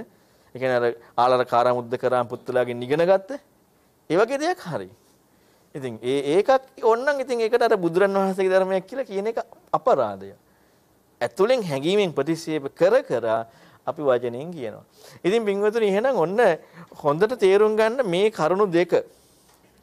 චින්තන ශෛලිය කුසල කිං කුසල ගවේෂී ප්‍රඥාව ගම්භීර ලෝකෝත්තර මේ කරුණු දෙක. මේ දෙක එකතු වීමටයි බුදුරන් වහන්සේගේ ධර්මයේ ෂණ සම්පත්තිය උදා වෙන්නේ. නැත්තම් එහෙම නෑ. මේ දෙක උදා වුණ නැත්තම් එහෙම නෑ. දැන් ඔබ අහලා ඇතින දුෂ්ටක්ෂණ වලදී ධර්මය ඇහෙන්නේ නැති කාලවල උපදිනවා ප්‍රඥයෝනේ. ඔය වගේ අය මහා ප්‍රඥයෝ ක්ෂණයේ දුෂ්ටක්ෂණයක් නේ. එතකොට ධර්මය ඇහෙන කාලේ ප්‍රඥාව නැතුව උපදිනකොට ඒ දුෂ්ටක්ෂණයක් නේ. ධර්මයේ තියෙන ඒ දුෂ්ටක්ෂණය. එතකොට දැන් අපි දැන් මේකේ බලන්න එනවා එහෙනම් මොකද්ද ප්‍රශ්නේ කියලා නේ. ප්‍රඥාව අපේ ප්‍රශ්නයක් නම් අපි ශනේ ලැබුණා ශනේ ලැබුණා කිව්වට ලැබිලාද? ලැබිලා නෑ. අපට කිං කුසල ගවේෂී බව නෑ. මොනවා හරි ලබලා හතුටු වෙන්න ඕන ගතිය නා තියෙනවා කිං කුසල ගවේෂණය. සතුටු වෙන්න ඕන ගතිය තියෙනවා. ඒ කියන්නේ සක්කාය තහවුරු වෙන්න සතුටු වෙන්න කියන්නේ මොකද්ද? සක්කාය තහවුරු වෙන්න ඕන ගතිය තියෙනවා. මෙවැනි ධර්මයක් ලේසියෙන් කෙනෙකුට පෙන්වන්න බෑ. දැන් මම ඔබට මේකේ ලක්ෂණේනේ කිව්වේ. ගැඹුරු දැන් ඕක කියන්නේ කොහොමද දැන් ලෝකේ ඉන්න කෙනෙකුට?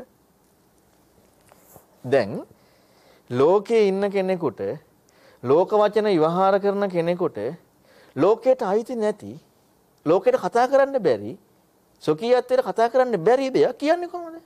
දැන් ඒ ඒක ඒ ප්‍රශ්නේ නැද්ද? දැන් ලෝකෙට අයිතිත් නැහැ. ලෝකෙට ගෝචරත් නැහැ. තමාට අයිතිත් නැහැ. තමාට ගෝචරත් නැහැ. ඉතින් ඒකක් කියලා දෙන්නේ කොහොමද? එහෙම එකක් කියන්න පුළුවන්ද කාටවත්? බෑ නේද? එහෙම එකක් කියන්න බැරි දෙයක් කීමට කියනවා මොකක් කියලාද? බුද්ධ කියලා. මොකක්ද කියන්නේ? බුද්ධ කියලා. දැන් අපි අපි සාමාන්‍යයෙන් හිතලා බලන්නකො ඒ කරුණු දෙක ගැලපෙන්නේ නේද? පසේ බුදුරුන්ට කියන්න බෑ නේද මේක? පසේ බුදුරු බුදුන් නැද්ද? ඔක්කොම උනානේ. පසේ බුදුරු බණ කියනවා මේ ධර්මයේ කියන්න බෑ. සොකියත් ඉක්මන දහම කියන්න බෑ. පසේ බුදුරුන්ට බණ කියන්න පුළුවන්. පසේ බුදුරුන්ගේ බණ අහලා පසේ බුදුත් වෙනවා. හැබැයි සොකියත් ඉක්මන කාරණා කියන්න බෑ. ඉතින් අර මම මුලින් පැහැදිලි කරපු කරුණු ටික හොඳට හිතලා බලන්නකෝ. තම දැන් අපට මොනවා හරි තේරුම් ගන්න තේරුම් ගන්න කියන්නට නම් අපට අයිති වචනයකින් දාගෙන අපට ඕන දෙයක් කියන්න ඕනද නැද්ද? කියන්න ඕනේ නේ. අපට අපේ ලෝකයේ එකක් එක්ක අපට ගෝචර දෙයක් කියන්න ඕනද නැද්ද? කියන්න ඕනේ. හැබැයි මේ කියලා දෙන දේ අපට ගෝචර වෙන එකක්ද? නෑ. අපේ ලෝකෙට අයිති දෙයක්ද? නෑ. ඉතින් එහෙම දෙයක් අපේ ලෝකෙට කියලා දෙන්නේ කොහොමද? කියලා දෙන්න බෑනේ. කිසිම ආකාරයෙන් කියලා දෙන්න බෑ. අන්නේ ආශ්චර්ය කියලා දීම කියන ආශ්චර්යය තමයි මොකද්ද? බුද්ධ කියන්නේ. පසේ බුදුරයන් වහන්සේ තනියම අවබෝධ කරන්නේ. ඉතින් බුදුරන් වහන්සේ තනියම අවබෝධ කරන්නේ. තනියම අවබෝධ කිරීම නම් බුද්ධ කියන කෘත්‍යය. ඉතින් දෙන්නම එකයිනේ. වෙනසක් නැහැනේ. රහතන් වහන්සේත් නිවන් දැක්කනේ. බුදුරන් වහන්සේත් නිවන් දැක්කා. දෙන්නම එකයිනේ. ඒක බුදුරන් වහන්සේ වෙනම සූත්‍රයක මහනවා. දැන් ඔබලත් රහත් මමත් රහත්. අපි දෙන්නගේ වෙනස මොකද්ද? අවබෝධය කිසි වෙනසක් නැහැ. කිසිම වෙනසක් නැහැ. මොකද්ද වෙනස? වෙන්න මේ කියපු දේ. දැන් රහතන් වහන්සේ රහත් උනේ තව කෙනෙක්ගේ වචනේ අහලානේ නේ. ඒක ඇහුන් නැත්නම් එයාට රහත් වෙන්න පුළුවන්ද? ඒ කාගේ වචනේද? බුදුරයන් වහන්සේ. අන්නේ බුද්ධ කියන කාරණාව යෙදුනේ මෙන්න මේ කියන්න බැරි දෙයක් කීම. කිසි විදියකින් කියන්න බෑ. ඒකට කියනවා මග්ගඤ්ඤු, මග්ගවිදු, මග්ගකෝවිදු. කිව්වේ මොකද්ද? වචන ටිකක් එක්ක නෙමෙයි මාර්ගයක් කිව්වේ. දැන් අපට හිතෙන්නේ කිව්වේ යම් කිසි වස්තුවක් කියලා. යම් කිසි කරුණක් නෑ මාර්ගයක් කිව්වේ. ගමන් කරන විදිහක් කිව්වේ.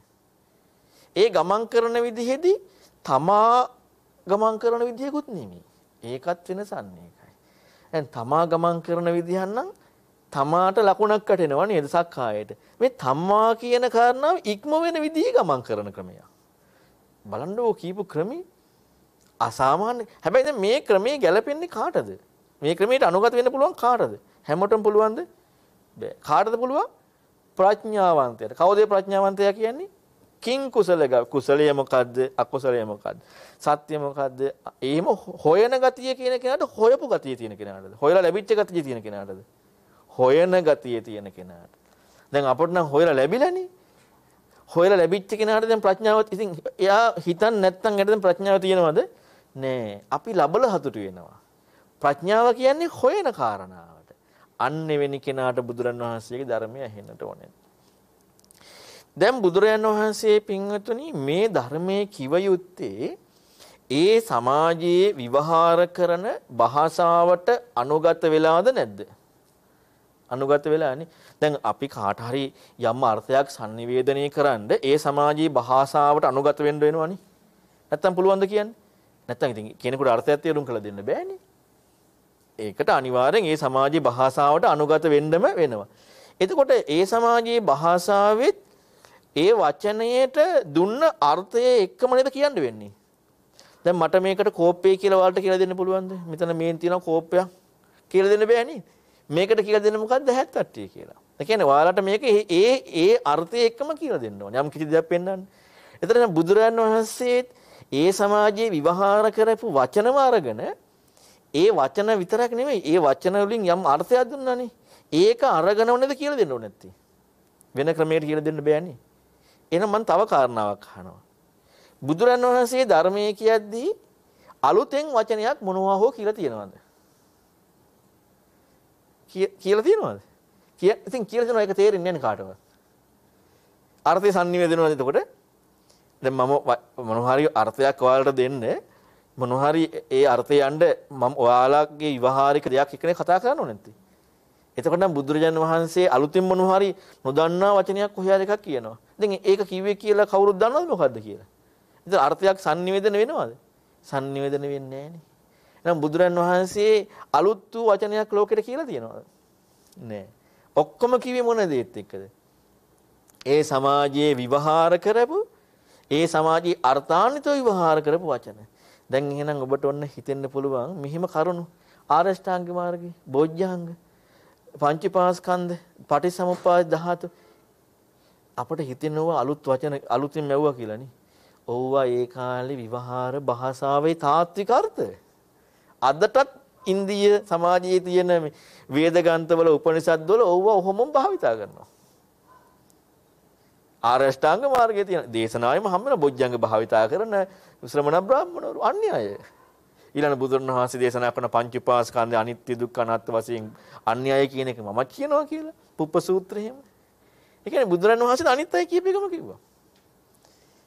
එතකොට මේ මේ කියපු කාරණා ඇයි ඇයි මෙහෙම දැන් වෙන අර්ථයක් දෙන්න බෑනේ. අලුත් දේවල් එකක්වත් කියලා නැහැ. දැන් අපිට ওই වචන ටික ඇහෙනකොට පින්වතුනි අපට මතක් වෙන්නේ මොකද්ද? ධර්මය කියලානේ. දැන් ඒ සමාජයට නම් වචන ටික මතක් වෙයි ධර්මය කියලා මතක් වෙයිද? නෑනේ. ඇයි? එයාලා විවහාර කරපු භාෂාවේ හැමෝම විවහාර කරලත් නෑ හැම එකක්ම. විමුක්තිකාමින් විවහාර කරපු. නිවන් දකින්න හොයපු කට්ටියන අන්‍යයි ඒ අය විවහාර කරපු. එතකොට ඒ අයට අලුත් දේවල්ද? නෑ නෑ. එයාලා දන්න දේවල්මයි. දැන් එහෙනම් ඒ කාරණාව කියපු තැන එක බුදුරයන් වහන්සේගේ ධර්මයේ වෙනස කොහොමද තේරුම් ගන්නේ? දැන් බුදුරන් වහන්සේ චිව අරෂ්ඨාංග මාර්ගය. එයාලත් කියන්නේ අරෂ්ඨාංග මාර්ගය. බුදුරන් වහන්සේ කියන්නේ බොජ්ජංග. එයාලත් කියන්නේ බොජ්ජංග. බුදුරන් වහන්සේ කියන්නේ ප්‍රඥාව දුර්වල කරන නිවන ප්‍රහාණය කරන්න. එයාලත් කියන්නේ ඒකමයි. බුදුරන් වහන්සේ කියන්නේ පංචපාස්ක අනිත්‍ය දුක්ඛ නාත්ම ස්වභාවය. එයාලා කියන්නේත් ඒකමයි. දැන් මොකද්ද මේකේ වෙනස? දැන් බුදුරන් වහන්සේ වෙන දේවල් කිව්වනම් ප්‍රශ්නයක් තමයි ඇත්තට. කියන්න බෑ නේද? දැන් වෙන වචනයක් පාවිච්චි කරලා කියන්න පුළුවන්ද?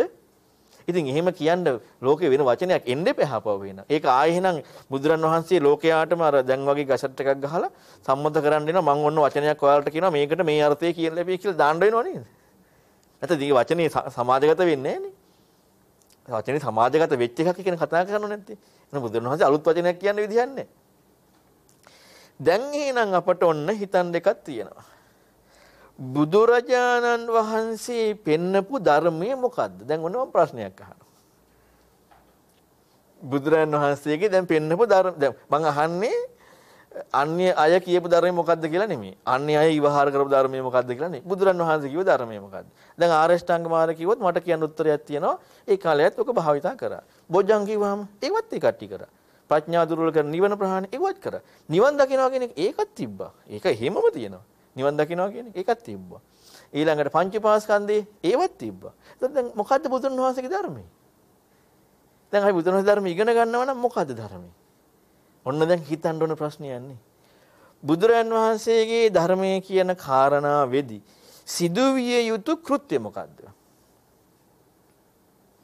බුදුරජාණන් වහන්සේට ආවේනික ධර්මයේදී සිදුවිය යුතු කෘත්‍ය මොකද්ද? අපෙන් සිදුවිය යුතු සක්කාය නිරුද්ධ වෙන්නට ඕනේ නේ. ඒ ප්‍රතිපදාවක් හම්. ඒ කියන්නේ තමා කියන කාරණාව ඉක්මවන ප්‍රතිපදාවක් හම්බෙන්න ඕනේ නේ. ඊළඟට ලෝකයේ තහවුරු වෙන එකක් නොවෙන්නට ඕනේ නේ. දැන් අර වචන ටික ඔක්කොම ලෝකයට අයිති වචනද නැද්ද? ලෝකයට අයිති. ලෝකයට අයිති කියන්නේ ඒ ඒ කෙනාට ගෝචරේවද නැද්ද? ඒ ඒ කෙනාට ගෝචරයි. ඒ කියන්නේ ලෝකයේ තහවුරු වෙන, සක්කාය තහවුරු වෙන. ඉතින් ඒක බුද්ධ වචනයක් වෙන්න බෑනේ. බෑ නේද? හැබැයි ඔය වචනම නේද භාවිතා කරේ.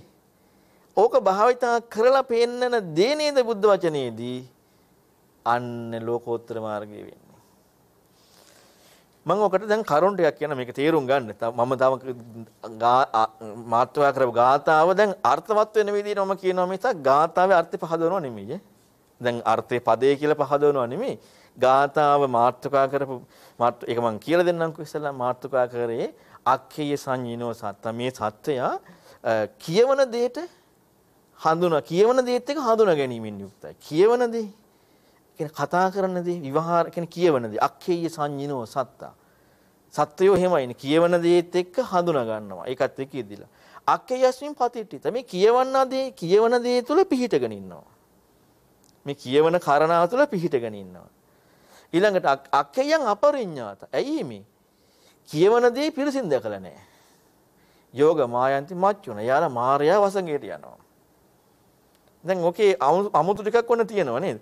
කියවන කාරණාව කියවන කාරණාව ඒකේ සංඥාවෙන් යුක්තයි සත්‍යයෝ කියවන කාරණාව කියවීම කියන දේත් එක්ක සත්‍යයෝ පිහිටලා ඉන්නවා ඒ කියවීම කියන කාරණාවේ පිරිසින් දකින්න නැති නිසා අන්න මාර්යාගේ වසඟයට යනවා දැන් මේක අර්ථාන්විත වෙන්නයි මම මේ දේශනාව කරගෙන යන්නේ එතන බුදුරණවහන්සේ ධර්මක අනිත් පැත්ත තියෙන්නේ දැන් මේ මේක දකිනකොට තමයි අනිත් පැත්ත යොමු වෙන්නේ නේ දැන් ඔන්න එතකොට දැන් බුදුරන් වහන්සේ එහෙනම් දැන් ධර්මයේ කියනවා නැති කොහොමද? ලෝකීය වචන භාවිතා කරලා ඒකම උපකාර කරගෙන ඒකම හේතු කාරණා කරගෙන ඒක තහවුරු නොවන විදිහට යමක් ඉස්මතු කරලා දෙන්නේ. අදිඋත්තපත සූත්‍රය පැහැදිලි කරනවා මම මේ ධර්මයේ වචන වලින් අදිවචන වලින් කියනවා. හැබැයි ඒකට රිංග ගන්න නෙමෙයි. මේ ලෝකය රිංග ගන්නවා ඒකට. රිංග ගන්නවා කියන්නේ මොකද්ද? දැන් මම මේකට දැහැත් වට්ටිය කියනවා දැහැත් වට්ටිය කියන අර්ථයට රිංගගෙන ඉන්න ඕ දැහැත් වට්ටිය. හරි. හැබැයි කියපු ක්‍රමයේ තුල වෙනසක් තියෙනවා. ඒක හම්බෙන්නේ නැහැ. දැහැත් වට්ටිය තුල රිංගගෙන තියෙනවා. බුදුරන් වහන්සේ ධර්මයේ කියන ක්‍රමයේදී පින්වතුනි කරුණු තුනක් සිද්ධ වෙනවා. බුදුරන් වහන්සේ බුදුරන් වහන්සේගේ ධර්මයට උදාහරණ ඕනේ උපමා ඕනේ බුදුරන් වහන්සේගේ ධර්මයට. බුදුරන් වහන්සේගේ ධර්මය කියලා කියන්නේ පින්වතුනි සක්කාය නිරෝධයක් නේ. ඒ කියන්නේ කිසිදු විදියකින් තමා තහවුරු වෙන්න බෑ. ඒ දෙන්න බෑ. ඒක මහා ප්‍රඥයන්ට පුළුවන්. මහා ප්‍රඥයන්. උපතිස්ස පරිබ්‍රාජක ඊළඟට කවුද බාහිදාරුචීරි ඒ වගේ අයට කිව්ව ගමන් උදාහරණ උපමා මුකුත් ඕනේ. ධර්ම පරියායෙම අන්න යාලා ගොඩ ගියා.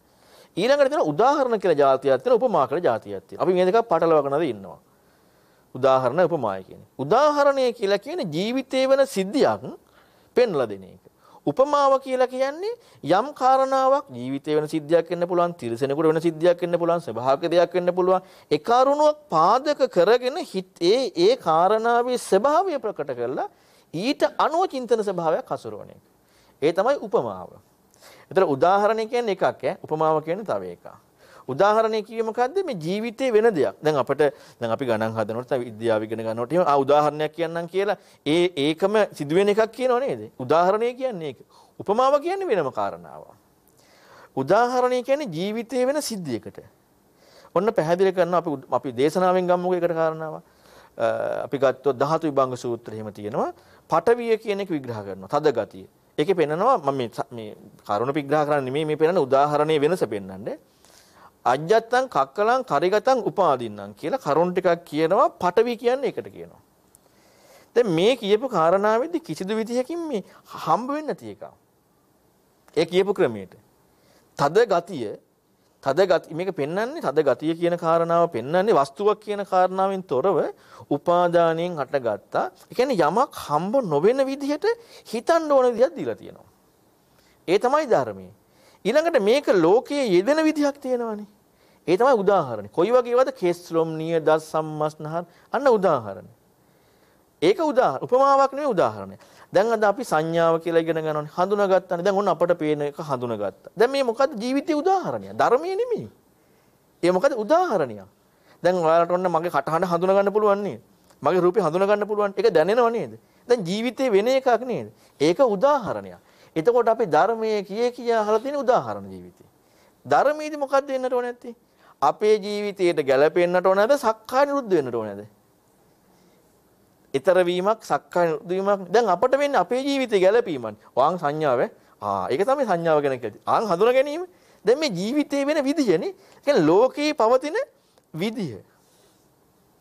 මෙන්න මේක උදාහරණේ. ධර්මයේ දුන්නේ එක අපි ඒක උදාහරණයකට ගලපගෙන. දැන් අපට ලැබිලා නේද? දැන් ඒක ලැබුණේ අපටද නැද්ද? ඒක තේරුණේ අපටද නැද්ද?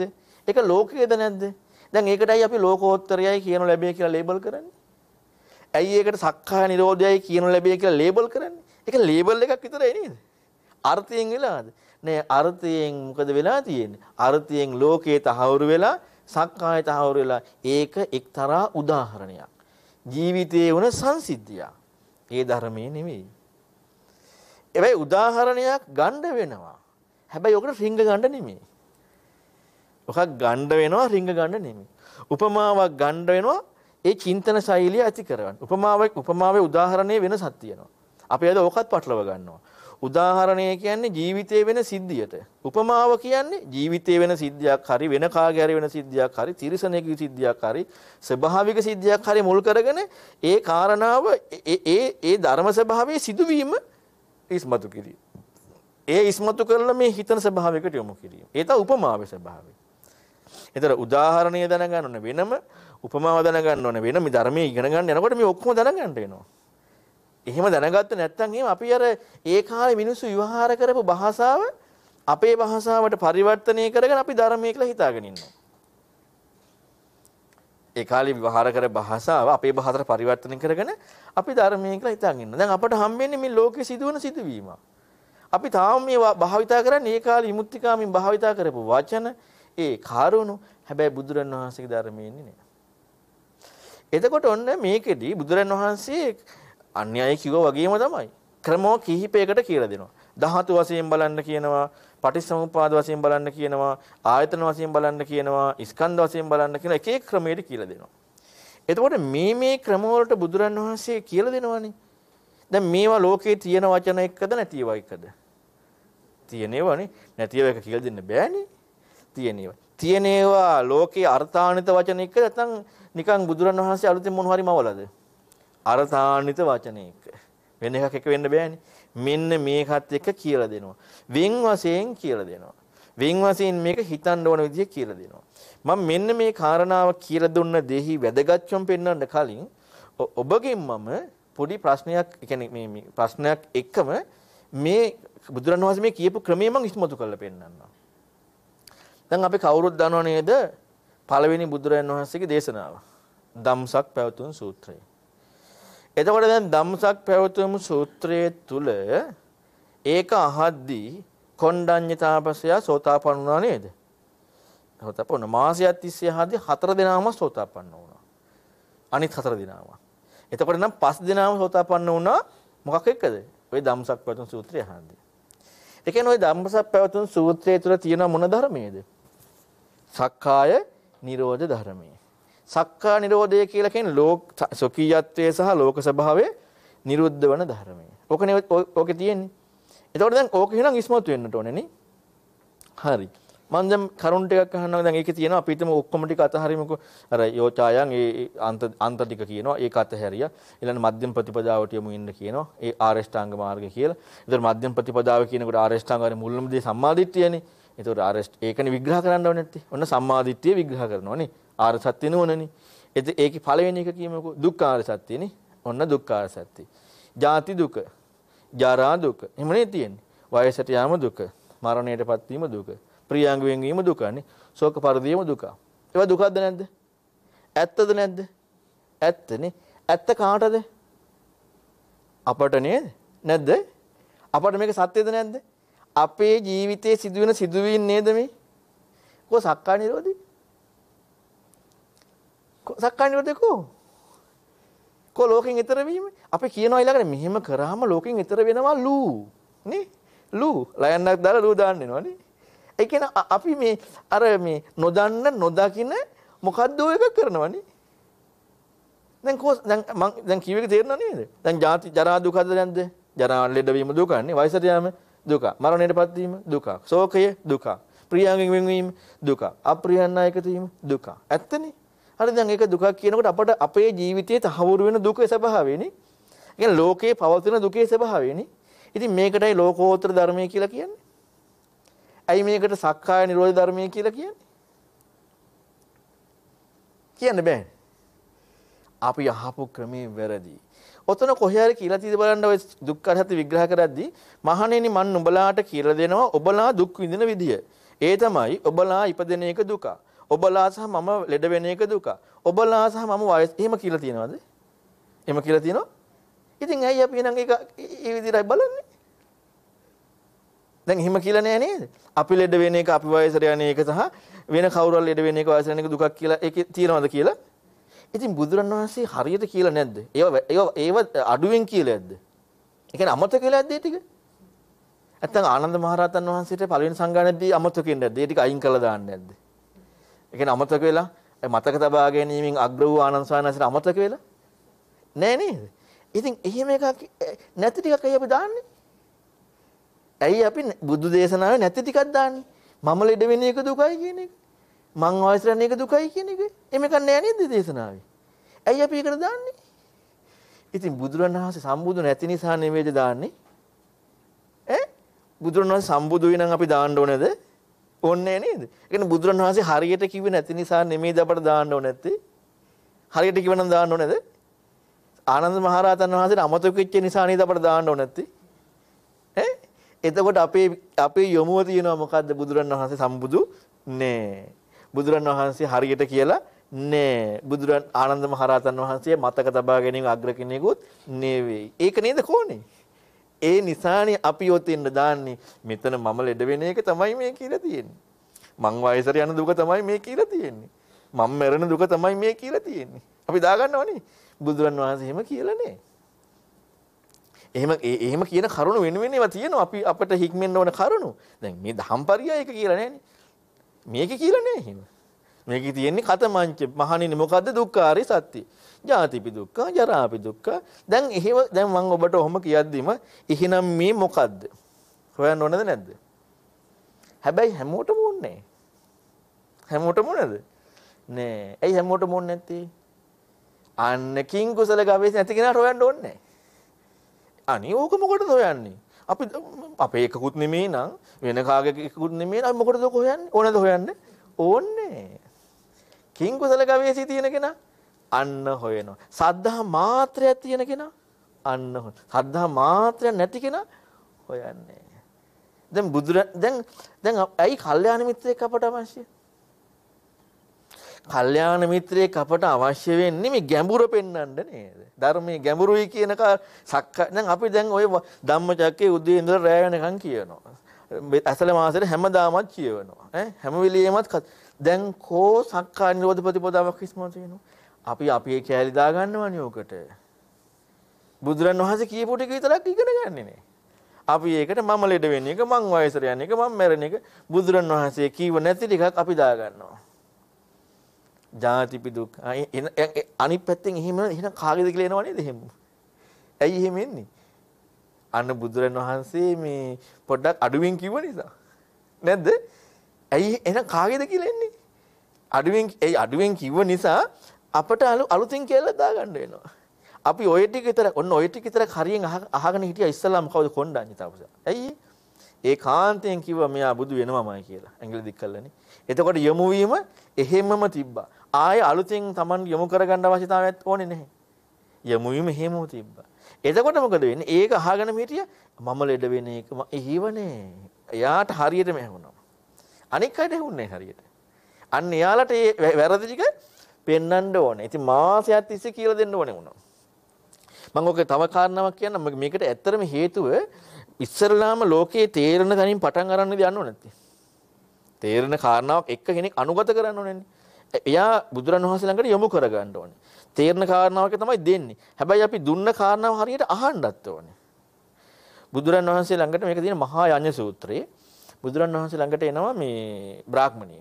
එයා දැන් එළුව 500යි හරක් 500යි බැටළුව 500යි දැන් මරන්න ලැහැත්ති කරලා ඉන්නේ යාගයක් කරන්න. පින් කරන්නේ. දැන් අපිට ඔක පව් කියලා හිතනකොට යාළුවට පිනක් ඒක. යාගය කියන්නේ පිනක්. ඒතකොට දැන් බුදුරන් වහන්සේ කියන්නේ මේ පින ගැන හොඳ දේවල් ගැන වර්ණනා කරන කෙනෙක්. දැන් ඒ ඒ පින කරන්න බුදුරන් වහන්සේගේ උපදේශක් ගන්න. නැත්නම් බුදුරන් වහන්සේට කියලෙන්න යනවා. දැන් මේ යන්නේ හොඳ චේතනාවෙන්ද නැද්ද? හොඳ චේතනාවෙන්. ඇයි දැන් එයාලා කරන්න යන්නේ යහපත් දෙයක්? දැන් අපිට අයහපත් වුණාට එයාලට යහපත්. ඒතකොට යහපත් කෙනෙක්ගේ උපදේශ ගන්න යනවා. ගිහිල්ලා කියනවා ස්වාමීනි මේ මහා යාගය කරන්න කලින් මේ කොඩිය ඔස්සන එක ගිනි දැල් වෙන එක මුල් එක මහත්ඵලයි නේද කියලා. දැන් එතකොට දැන් අර හත්තු ටික මරන්න කලින් කොඩිය උස්සලා ගිනි දැල්ලනකොට හත්තු ටික මරන්න. දැන් එතකොට මේ යාගේ මහත්ඵලයි කියලා එයාලා දන්නවා. බුදුරණවහන්සේ කිව්වා ඔව් ඒක මහත්ඵලයි. දැන් මොකද වෙන්නේ අර බ්‍රාහ්මණයා? තවත් පැහැදීම වැඩි. තවත් පැහැදීම වැඩි. ඔව් කොඩිය උස්සන එකයි යාගේ කරන්න කලින් කොඩිය උස්සන එකයි ඊළඟට ගිනි දැල්වන එකයි මහත්ඵලයි. දැන් ගන්න යා යමුණ වැඩි. දැන් ඊළඟට එයා අහනවා මොකද්ද කියලා. එයාගේ ඉස්සලා ආනන්ද ස්වාමීන් වහන්සේ තමයි අහන්න කියන්නේ. දැන් බුදුරණවහන්සේ වදාරනවා ඊට වඟට යමුණාට පස්සේ අර වගේ ප්‍රාණඝාත යකුසල් ටික කියනවා. ඒ කොඩිය ඔස්සන මහත්ඵල වෙන මහා යාග ටික කියනවා. ඒ තමයි දක්ඛිනී යාගය, ආහුණී, ඒ කියන්නේ දිමාපියන් සලකන යාගය, ඊළඟට ප්‍රමණවරුන්ට සලකන යාගය, අන්න යාග ටික. ඒවා මුලින් ඒවා කරන එක මහත්ඵලයි. බුදුරණවහන්සේ කිවි මොන අර්ථයෙන්ද? ඒ අර්ථයේ. අරයාගේ යමුව මොන අර්ථයෙන්ද? වෙන අර්ථයකින්. හැබැයි ඒකෙන් යා මොකද වුනේ? බුදුරණවහන්සේට යමු වුණා. ඊළඟට මොකද වුනේ? කිව දේ හැවුවා. අන්න ක්‍රමේ. මේවා ඒ ඒ කෙනා යොමු කරගන්න ක්‍රම. අපටම සිද්ධාන්ත වෙලා. ඒකයි ප්‍රශ්නේ තියෙන්නේ. ඒතර බුදුරන් වහන්සේ මේවා ඔක්කොම මේ ලෝකයා මෝඩකමේ ඉන්න ලෝකය ඇදලා ගන්න ඉදිරිපත් කරනවා එයාලට ගෝචර වෙන තැන ඉඳලම. හැබැයි පෙන්වන්නේ එයාලගේ එක නෙමෙයි. දැන් බුදුරන් වහන්සේ ඒ වෙලේ පැහැදිලි කරේ කොඩිය ඔස්සන එකත් හොඳයි මහත්ඵලයි ගිනි දැල්වන එකත් මහත්ඵලයි කියලා කිව්වේ එයාගේ එකද බුදුරන් වහන්සේකද එයාට ගියේ එයාගේ එකද බුදුරන් වහන්සේකද ආ ඉතින් ජාති දුක ජරා දුක මරණ දුකත් ඕකම තමයි ඒකත් ඒකමයි නැද්ද ඒකත් ඒකමයි අපට ඉතින් ඕක ප්‍රශ්නයක් දැන් බුදුරන් වහන්සේ ජාති දුක ජරා දුක මරණ දුක කිව්වේ මොකද්ද බුදුරන් වහන්සේ කිව්වේ ඒක දැන් අපි ඒක හොයන්න ඕනේ. දැන් මම හොයන්නට කිව්වේ නෑ. හොයන්න ඕනේ ඒක මොකද්ද කියලා. දැන් අපට තේරෙන්නේ මොකද්ද? අපට තේරෙන එක. අපට තේරෙන එකත් එක්ක අපි යොමු වෙනවනේ. හැබැයි අර කිං කුසල ගවේෂී තියෙනවනේ හොයනවා. ඒක නැත්තම් හොයන්නේ. ඒක නැත්තම් එහෙම හොයන්නේ. ඇයි දැන් මේක කියන්න බෑ නේද වෙන වචන වලින්? වෙන වචන වලින් කියන්න බෑ. ඊළඟට අපි තවත් දා ගන්නවකට සංකීර්තේන පංච උපාදානස්කන්ධ. මේක හකුලවකෝ පංච උපාදානස්කන්ධයෙන්. ඒ කියන්නේ සංඥා වේදනා සංඛාර රූප. දැන් ඔන්න අපි ආයෙ ගලපනවා. මොකද්ද? ඔන්න අපි කණෙන් අහලා හඳුන ගන්නවා, ඇහෙන් පේලා දැන ගන්නවා. දැන් මේක ජීවිතයේ අත්දැකීමක්ද නැද්ද? තමන්ගේ තමන්ගේ ස්වභාවයේ තහවුරු වීමක්ද නැද්ද? ඒ කියන්නේ ඒක සක්කායේ තරවීමක්ද නැද්ද? ලෝකයේ තහවුරු වීමක්ද නැද්ද? ඉතින් ඒකටයි ලෝකෝත්තර කියන්නේ. ඒක ලෝකෝත්තර කියන්න ඕනේ නෑනේ. ඒකට සක්කාය කියන්න ඕනේ නෑනේ. බුදුරන් වහන්සේ පින්වතුනි පංච උපාදානස්කන්ධ දුක්ඛ කියන කාරණාව පෙන්නකොට ඒකට වෙනම විග්‍රහයක් තියෙනවා. උපාදානස්කන්ධ කියන්නේ මොකද්ද? ස්කන්ධ කියන්නේ මොකද්ද? එහෙම නැතුව කතා කරන එක මොකද්ද? මේවා වෙන් වෙන් වශයෙන් පුදුමාකාර ලස්සන විග්‍රහයක් තියෙනවා. ඒවා අපිට පුදුම ඕනකමකින් හරි විදිහට ඉගෙන ගන්නකොට මේ ධාතු ආයතන ස්කන්ධමයි ඉගෙන ගන්න තියෙන්නේ වෙන මොකක්වත් නෙමෙයි. හැබැයි බුදුරන් වහන්සේ කිව්ව විදිහටම. දැන් අර උදාහරණේ මම දැන් කිව්වේ ධම්මචක්කේ. ධම්මචක්කේ කිව්වේ ජාතිප දුක්ඛ, ජරාප දුක්ඛ, ව්‍යාධිප දුක්ඛ කියලා. අපි තේරුම් ගත්තා අපි ඉපදෙන එක ලෙර වෙන එක වයස යන එක දුකයි කියලා. ඉතින් දැන් ප්‍රශ්නයක් නැද්ද අපට? අපි අපි අපි තේරුම් ගත්ත අපි අහපු දෙයම වැරදි නැද්ද? දැන් අපි බුදුරන් වහන්සේගේ ධර්මය අහුවද නැද්ද? නැහැ. ඇහුවද? ඇහුවන සක්කාය නිරෝධිමක ඇහෙන්න ඕනේ. අන්න සුසු සති සූත්‍රයේ අංගුත්තර නිකායේ තියෙනවා. කෙනෙක් ඉන්නවා බුදුරන් වහන්සේගේ ධර්මය අහද්දි බුදුරන් වහන්සේ ධර්මය අහන්නේ. එයා ධර්මය අවබෝධ කරන්නේ නැහැ. මොකක්ද කියන්නේ? බුදුරන් වහන්සේගේ ධර්මය අහද්දි බුදුරන් වහන්සේගේ ධර්මය අහන්න නැති කෙනෙක් ඉන්නවා. එයා ධර්මය අවබෝධ කරන්නේ දැන් අපි ධම්මචක්ක සූත්‍රය ඇහුවද නැද්ද? ඇහුවානේ.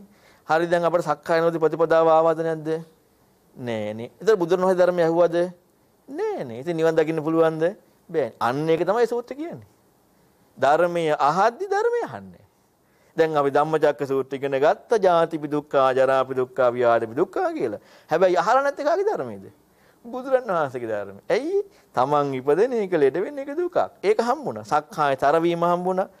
ත ලෝකේ සහවුරු වීම හම්බුණා. සක්කාය නිරෝධය ප්‍රකට වුණේ නෑ. ලෝකෙන් ඈතර වීම ඉස්මතු වුණේ නෑ. ඒ කියන්නේ අහලා නෑ කාගේ බණද?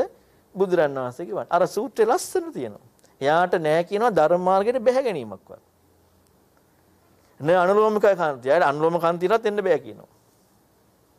ඇයි බුදුරණවහන්සේ ධර්මය අහලා නෑනේ බුදුරණවහන්සේ ධර්මය ඇහුවට. බුදුරණවහන්සේගේ ධර්මය ඇහුවට බුදුරණවහන්සේගේ ධර්මය අහලා නෑ. ඔන්න බලන්න එහෙනම් බුදුරණවහන්සේගේ ධර්මය අහන්න කොහොම හැකියාවක් ඕනේද? කොහොම අවධානයක් ඕනේද? අසාමාන්‍ය හැකියාව, අසාමාන්‍ය අවධානයක් ඕන. අපි මේක අද උඩින් පල්ලෙන් අත ගන්නවා. උඩින් පල්ලෙන් අත ගන්නවා. අපි අද ගැඹුරුයි කියලා හොයන්න කැමති අපට අපට වචන වලින් ගැඹුරු වෙන දෙයක්. ගැඹුරුයි කියන නිර්වචනය වෙන එක නෙමෙයි. වචන ටිකක් ඒ කියන්නේ අපේ ලෝකෙට නැති වචන ටික අලුත් වචන ටික අපි ඒකට කැමති. ප්‍රායෝගික ගැඹුරු කෙනෙකුට කැමති නෑ. ඔක්කොම තියෙන්නේ අපි අර ජාමි බේර ගන්න කරන්නේ. ලෙස්සල යන්න කරන්නේ. මෙන්න මේ වැඩ පිළිලක් තියෙන්නේ. අපි අවංකව සත්‍යවාදීව ධර්මයට යමු වෙන්නේ. දැන් එතකොට බලන්න මේ බුදුරණවහන්සේගේ ධර්මය එහෙනම් දැන් ඔබට මම කියපු ටිකෙන් තේරෙනවා ඇති කොහොම ඕනකමකින් ඉගෙන ගන්නවද කියලානේ. අසාමාන්‍ය ඕනකමක් ඕන නේද? බුදුරණවහන්සේගේ ධර්මය ඉගෙන ගන්න. අසාමාන්‍ය ඕනකමක් ඕන. මම මේක ඉගෙන ගන්න ඕන විදිහක් මම කියලා දෙන්නම්. ඉගෙන ගන්න ඕන විදිහක් උපමාවක් කරගෙන කියලා දෙන්නම්. මේක ඉගෙන ගන්න ඕන විදිහක් මේක පොඩ්ඩක් කර දුනොත් මොකද්ද වෙන්නේ කියන කාරණාවත් එක්ක උපමාවක් කරගෙන කියලා දෙන්නම්. ඒ තමයි දැන් ඔන්න බඩගිනි අපට. හොඳටම බඩගිනි. ඒ කියන්නේ දැන් යකෙක් කන්න බඩගිනි කියලා අපි කියන්නේ හොඳටම බඩගිනි. බත් නෑ කන්න. හාල් තියෙනවා. ලිපත් තියෙනවා. ගෑස් ටිකක් තියෙනවා. මුට්ටියක් තියෙනවා. හාලුත් තියෙනවා. වතුරක් තියෙනවා. බත් නෑ. අමු කඩල තියෙනවා. කඩලත් නෑ. තඹපුවත් නෑ. දැන් බඩගිනි. ඊළඟට ආප්ප හදන්න වගේ ආප්ප පිටිත් තියෙනවා. පොල් කිරිත් තියෙනවා. ආප්ප නෑ. බඩගිනි. ඊළඟට තවත් අපිට ඔය වගේ මොන හරි නූඩ්ල්ස් අමු නූඩ්ල්ස්ුත් තියෙනවා. දැන් දැන් බඩගිනි හොඳටම. බඩගිනිකමට ඔව්වා කෑවොත් හරියයිද? ඈ බඩ පිරෙයිද බඩ රිදිලා අමාරුලා හොස්පිටල් එකට ගිහලා තවත් විඳවන්න වෙයිද? අමාරු වෙනවා නේ. අන්න ඒ වගේ තමයි අද එක කට්ටියක් කරන්නේ. මම උපමාව කියන්නේ එක කට්ටිය බඩගිනිකමට ඒව කනවා කියලා. බඩගිනි වැඩි. තව කට්ටියක් කරනවා දන්නේ නැති කට්ටිය. බත් හාල් ටිකයි ආප ආප හොයන ඒ පිටි ටිකයි පොල් කිරි ටිකයි කඩල ටිකයි නූඩ්ලස් ටිකයි ඔක්කොම ටික කවලම් කරනවා. අමුයෙන් ඈ කවලම් කරලා ආප්පු යන්න හදනවා. පුළුවන් ද යන්නේ? බෑ. විසික් කරන්න ඕනේ නේ. බඩගිනි නිවෙනවද? නෑ. ඒ විතරක් නෙමෙයි අරවා ටිකත් විසික් කරන්න වෙනවනේ. ඊළඟට දැන් බත් පිටි බත් හැටි රුවන් හදනවා ඒ ටික. ඒත් පුළුවන්ද? ඒත් බෑ. අන්න තව කොට්ටාසිය. ඒ හැමත් කරනවා කට්ටිය. බඩගිනිකමට බඩගින්න නිවා ගන්න කියලා කරන වැඩේ. ඊළඟ තව කොට්ටාසයක් ඉන්නවා. ඕවා මේ මේ අපි හිතමු හාල් ටික දැන් ටිකයි තියෙන්නේ බඩගිනි ඉන්නව බෑ. හාල් ටිකක් තියෙනවා. මෙන්න මේ හාල් ටික ඔන්න කෙනෙක් මොකද කරන්නේ? අන්න ලිපේ තියෙනවා. ලිපේ තියලා ඒ කෙනා මොකද කරන්නේ? ඇටකුණා වෙනවා. දැන් මොකද වෙන්නේ? හාලුත් නැහැ බතුත් නැහැ. නේ? හාලුත් නැහැ බතුත් නැහැ. දැන් බඩගිනි බඩ පිරෙනවද? ඒත් පිරෙන්නේ. හාලුත් නැහැ බතුත් නැහැ බඩ පිරෙන්නෙත් නැහැ. ඔන්න එහෙමත් පිරිසක් ඉන්නවා. ඔය ටික මෙයා කරගන්නේ. ඊළඟට තව කොට්ටාසයක් ඉන්නවා. හාල් ඔන්න අපි හිතමු එයාට පුළුවන් හාල් ටික වෙනම ඒ හාල් වලට හාල් උයන්නේ කොහමද? හාල් උයන්න බෑ පොඟණ්ඩ දාලා ටිකක් වෙලා තියලා වතුර දාලා උයන්න බෑ. ඒතකොට බෙරි වෙනවනේ. කිරිබත් නම් කන්න පුළුවන්. බත් කන්න බෑනේ. හාල් උයන්න නැති හාල් උයන ක්‍රමයට. කඩල උයන්න නැති කඩල උයන ක්‍රමයට. ආප්පු යන නැති ආප්පු වෙන ක්‍රමයට. ඒ ඒ ක්‍රමයට උයලා කෙනෙකුට පුළුවන් ඕනනම් හාල් මේ දැන් හාල් බත් වෙලානේ. බත් කාලා බඩ පුරව ගන්නනේ. දැන් එයාට කෑවේ බද්ද අදාළ තියනවද? බඩ පිරුණානේ. අදාළ නැහැනේ. කියන්න පුළුවන් මගේ නම් බඩ ගිනිවරයි. මොකද ආ බත් කෑවේ. කියන්න පුළුවන් නේ. බඩනේ පිරුණේ. කෙනෙකුට පුළුවන් ආපෝන්නම් කන්නනේ. කාලා බඩ පුරව ගන්න පුළුවන්. දැන් ඔක්කොගේ මුනේ කෘත්‍ය මොකද්ද? බඩ පිරෙන එකනේ. කෙනෙකුට පුළුවන් ඔය ඔක්කොම කවලම් කරලා කන්නනේ. ඉුවට පස්සේ බයිද කවලම් කරලා කන්න? කවලම් කරලා කන්න පුළුවන්. ඒත් බඩ පිරෙනවනේ. හැබැයි උයන්න කලින් කවලම් කරලා උයාගෙන කන්න පුළුවන්ද? බෑනේ. උයන්න කලින් කවලම් කරලා උයාගෙන කන්න බෑ. උයලා කවලම් කරලා උයලා කවලම් කරලා කන්නත් පුළුවන්. ඒත් බඩ පිරෙනවා. සිදු වෙන්නේ බඩ පිරීමනේ. සිදු විය යුත්තේ බඩ පිරීමනේ. වෙන මොකෝ සිදු වෙන්න ඕනද? නෑ. දැන් ඔන්න මං ආප්ප කෑවා බුදුමයි ඒ ආප්ප මෙහෙම දැන් ආප්ප ගැන දැන් අපට ලැබෙන්නේ ආප්ප විස්තරයක්ද අපට ලැබෙන්නේ බත් විස්තරයක්ද අපේ අපේ යෙදෙන කාරණා බඩ පිරෙන එකනේ. දැන් බඩ ඇතුලේ ආප්ප නෑනේ. තියනවද බඩ ඇතුලේ ආප්ප? බඩ ඇතුලේ තියනවද බත් දැන්? ඔක්කොම අර මේවා වෙලා දිරවල බඩ පිරලා විතරනේ තියෙන්නේ. බඩ ඇතුලේ බතුත් නෑ. බඩ ඇතුලේ ආප්පත් නෑ. බඩ ඇතුලේ කඩලත් නෑ. මොකුත් නෑ බඩ ඇතුලේ. බඩ ඇතුලේ තියෙන්නේ අර ටික ඔක්කොම වෙලා දිරවල සිදු වුණේ බඩ පිරුණා විතරයි. ඒ කෘත්‍ය වුණා. හැබැයි අපට බඩ පිරෙන්න කලින් තිබ්බා හාල් තිබ්බා ඊළඟට තිබ්බා කඩලා තිබ්බා ආපු වෙන ටික තිබ්බා. ඔය හැම එකක්ම තිබ්බනේ. ඔන්න මම ඒ උපමාවක් කිව්වේ. දැන් උපමාව වන ගලපන්න. උපමේය. ගලපන්න. හරියට බඩ පිරෙන කාර්යය වගේ තමයි සක්කාය නිරෝධය ලෝකෝත්තර ප්‍රතිපදාව. බඩ පිරීම කියන එක. බඩගින්න නැතිවීම. බඩගින්න තියෙන කෙනා කියලා කියන්නේ සක්කාය නිරෝධයක් අවශ්‍ය කෙනා. ලෝකෝත්තර ධර්මයක් අවශ්‍ය කෙනා. බඩගින්න තියනවා කියන්නේ. දැන් ඔන්න ලෝකෝත්තර ධර්මයක් සක්කාය නිරෝධයක් අවශ්‍යයි. එතකොට දැන් ඒකට බඩගින්න නිවා ගන්න මේ මොනවා හරි බඩගින්න නිවෙන දෙයක් ගන්න ඕනේ. ද වෙන ක්‍රමයකට නිවා ගන්න බෑ. අවශ්‍යතාවයේ බඩගින්න නිවා ගන්න මිසක් බත් කන එක නෙමෙයි. අවශ්‍යතාවයේ ආබ්බ කන එකත් නෙමෙයි බඩගින්න නිවා ගන්න. කෘත්‍ය බඩගින්න නිවා ගන්න එකනේ. ඊළඟට කෑවේ බද්ද මොනවද අදාළ නැහැ. ඒක ගැන කතාවක්වත් නැහැ. බඩගින්න නිවීමයි උනේ. එතකොට ඔන්න ඒකෙදි බඩගින්න ගින්න නිවා ගන්න ඉන්න කෙනෙකුට තියෙනවනේ හාල්. ඒ ඒ අමුද්‍රව්‍ය තියෙනවනේ. බඩගිනි වැඩිකමට හාල් ටික කනවා වගේ තමයි. ධාතු ස්කන්ධ ආයතන මේවා කියනවනේ. ඒවා අපේ ලෝකෙට ගලපගෙන දැන් අපි දැන් අපේ ලෝකෙට ගලප ගන්නවා. දැන් ඒ තියෙන දේමනේ මේ කන්නේ. තියෙන දේම කනවා. දැන් ලෝකේ සිදුවෙන සිදුවීමක් නෙමේ. දැන් එයාගේ බඩගින්න නිවීමේ කෘත්‍ය වෙනවද? හාල් කෑවා කියලා. නෑ ස්පිතාලේ ගිහිල්ලා අව අසනීප වලට බෙහෙත් යන්න ඕනේ. වෙනම ලෙඩක් ආයෙනවනේ. බඩගින්න කියන අසනීපෙට අමතර තව අසනීපයක් එනවා. අර පාම් පිටි කාලා පොල් කිරි බිව්වහම බඩගින්න කියන අසනීපෙට අමතර අසනීප ටිකක් එනවා. වෙන ලෙඩක් එනවනේ. අන්න ඒ වගේ තමයි අපට අර ධාතු ටික කියනකොට, ස්කන්ධ ටික කියනකොට, පංචපාස්කන්ධ ටික මේවා කියනකොට අපට හොඳට ගැලපෙනවා අපේ ජීවිතේට. ලස්සනට ගැලපෙනවා.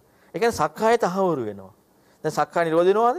නෑ තහවුරු වෙනවා. අපේ ජීවිතේ පුදුම විදියට ගැළපිලා මේ මේ වෙන්නේ බෙන් බෙන් හඳුනාගත්තා මේ. මෙන්න මේක අනිත්‍යයි මේ. මෙන්න මේකයි මේ. මෙන්න මේ තමයි සකස් වීම කියන්නේ මේ. මෙන්න මේක තමයි පටිසමුපාදෙ මේ. දැන් මේ මොකද්ද මේ කතා කරන්නේ?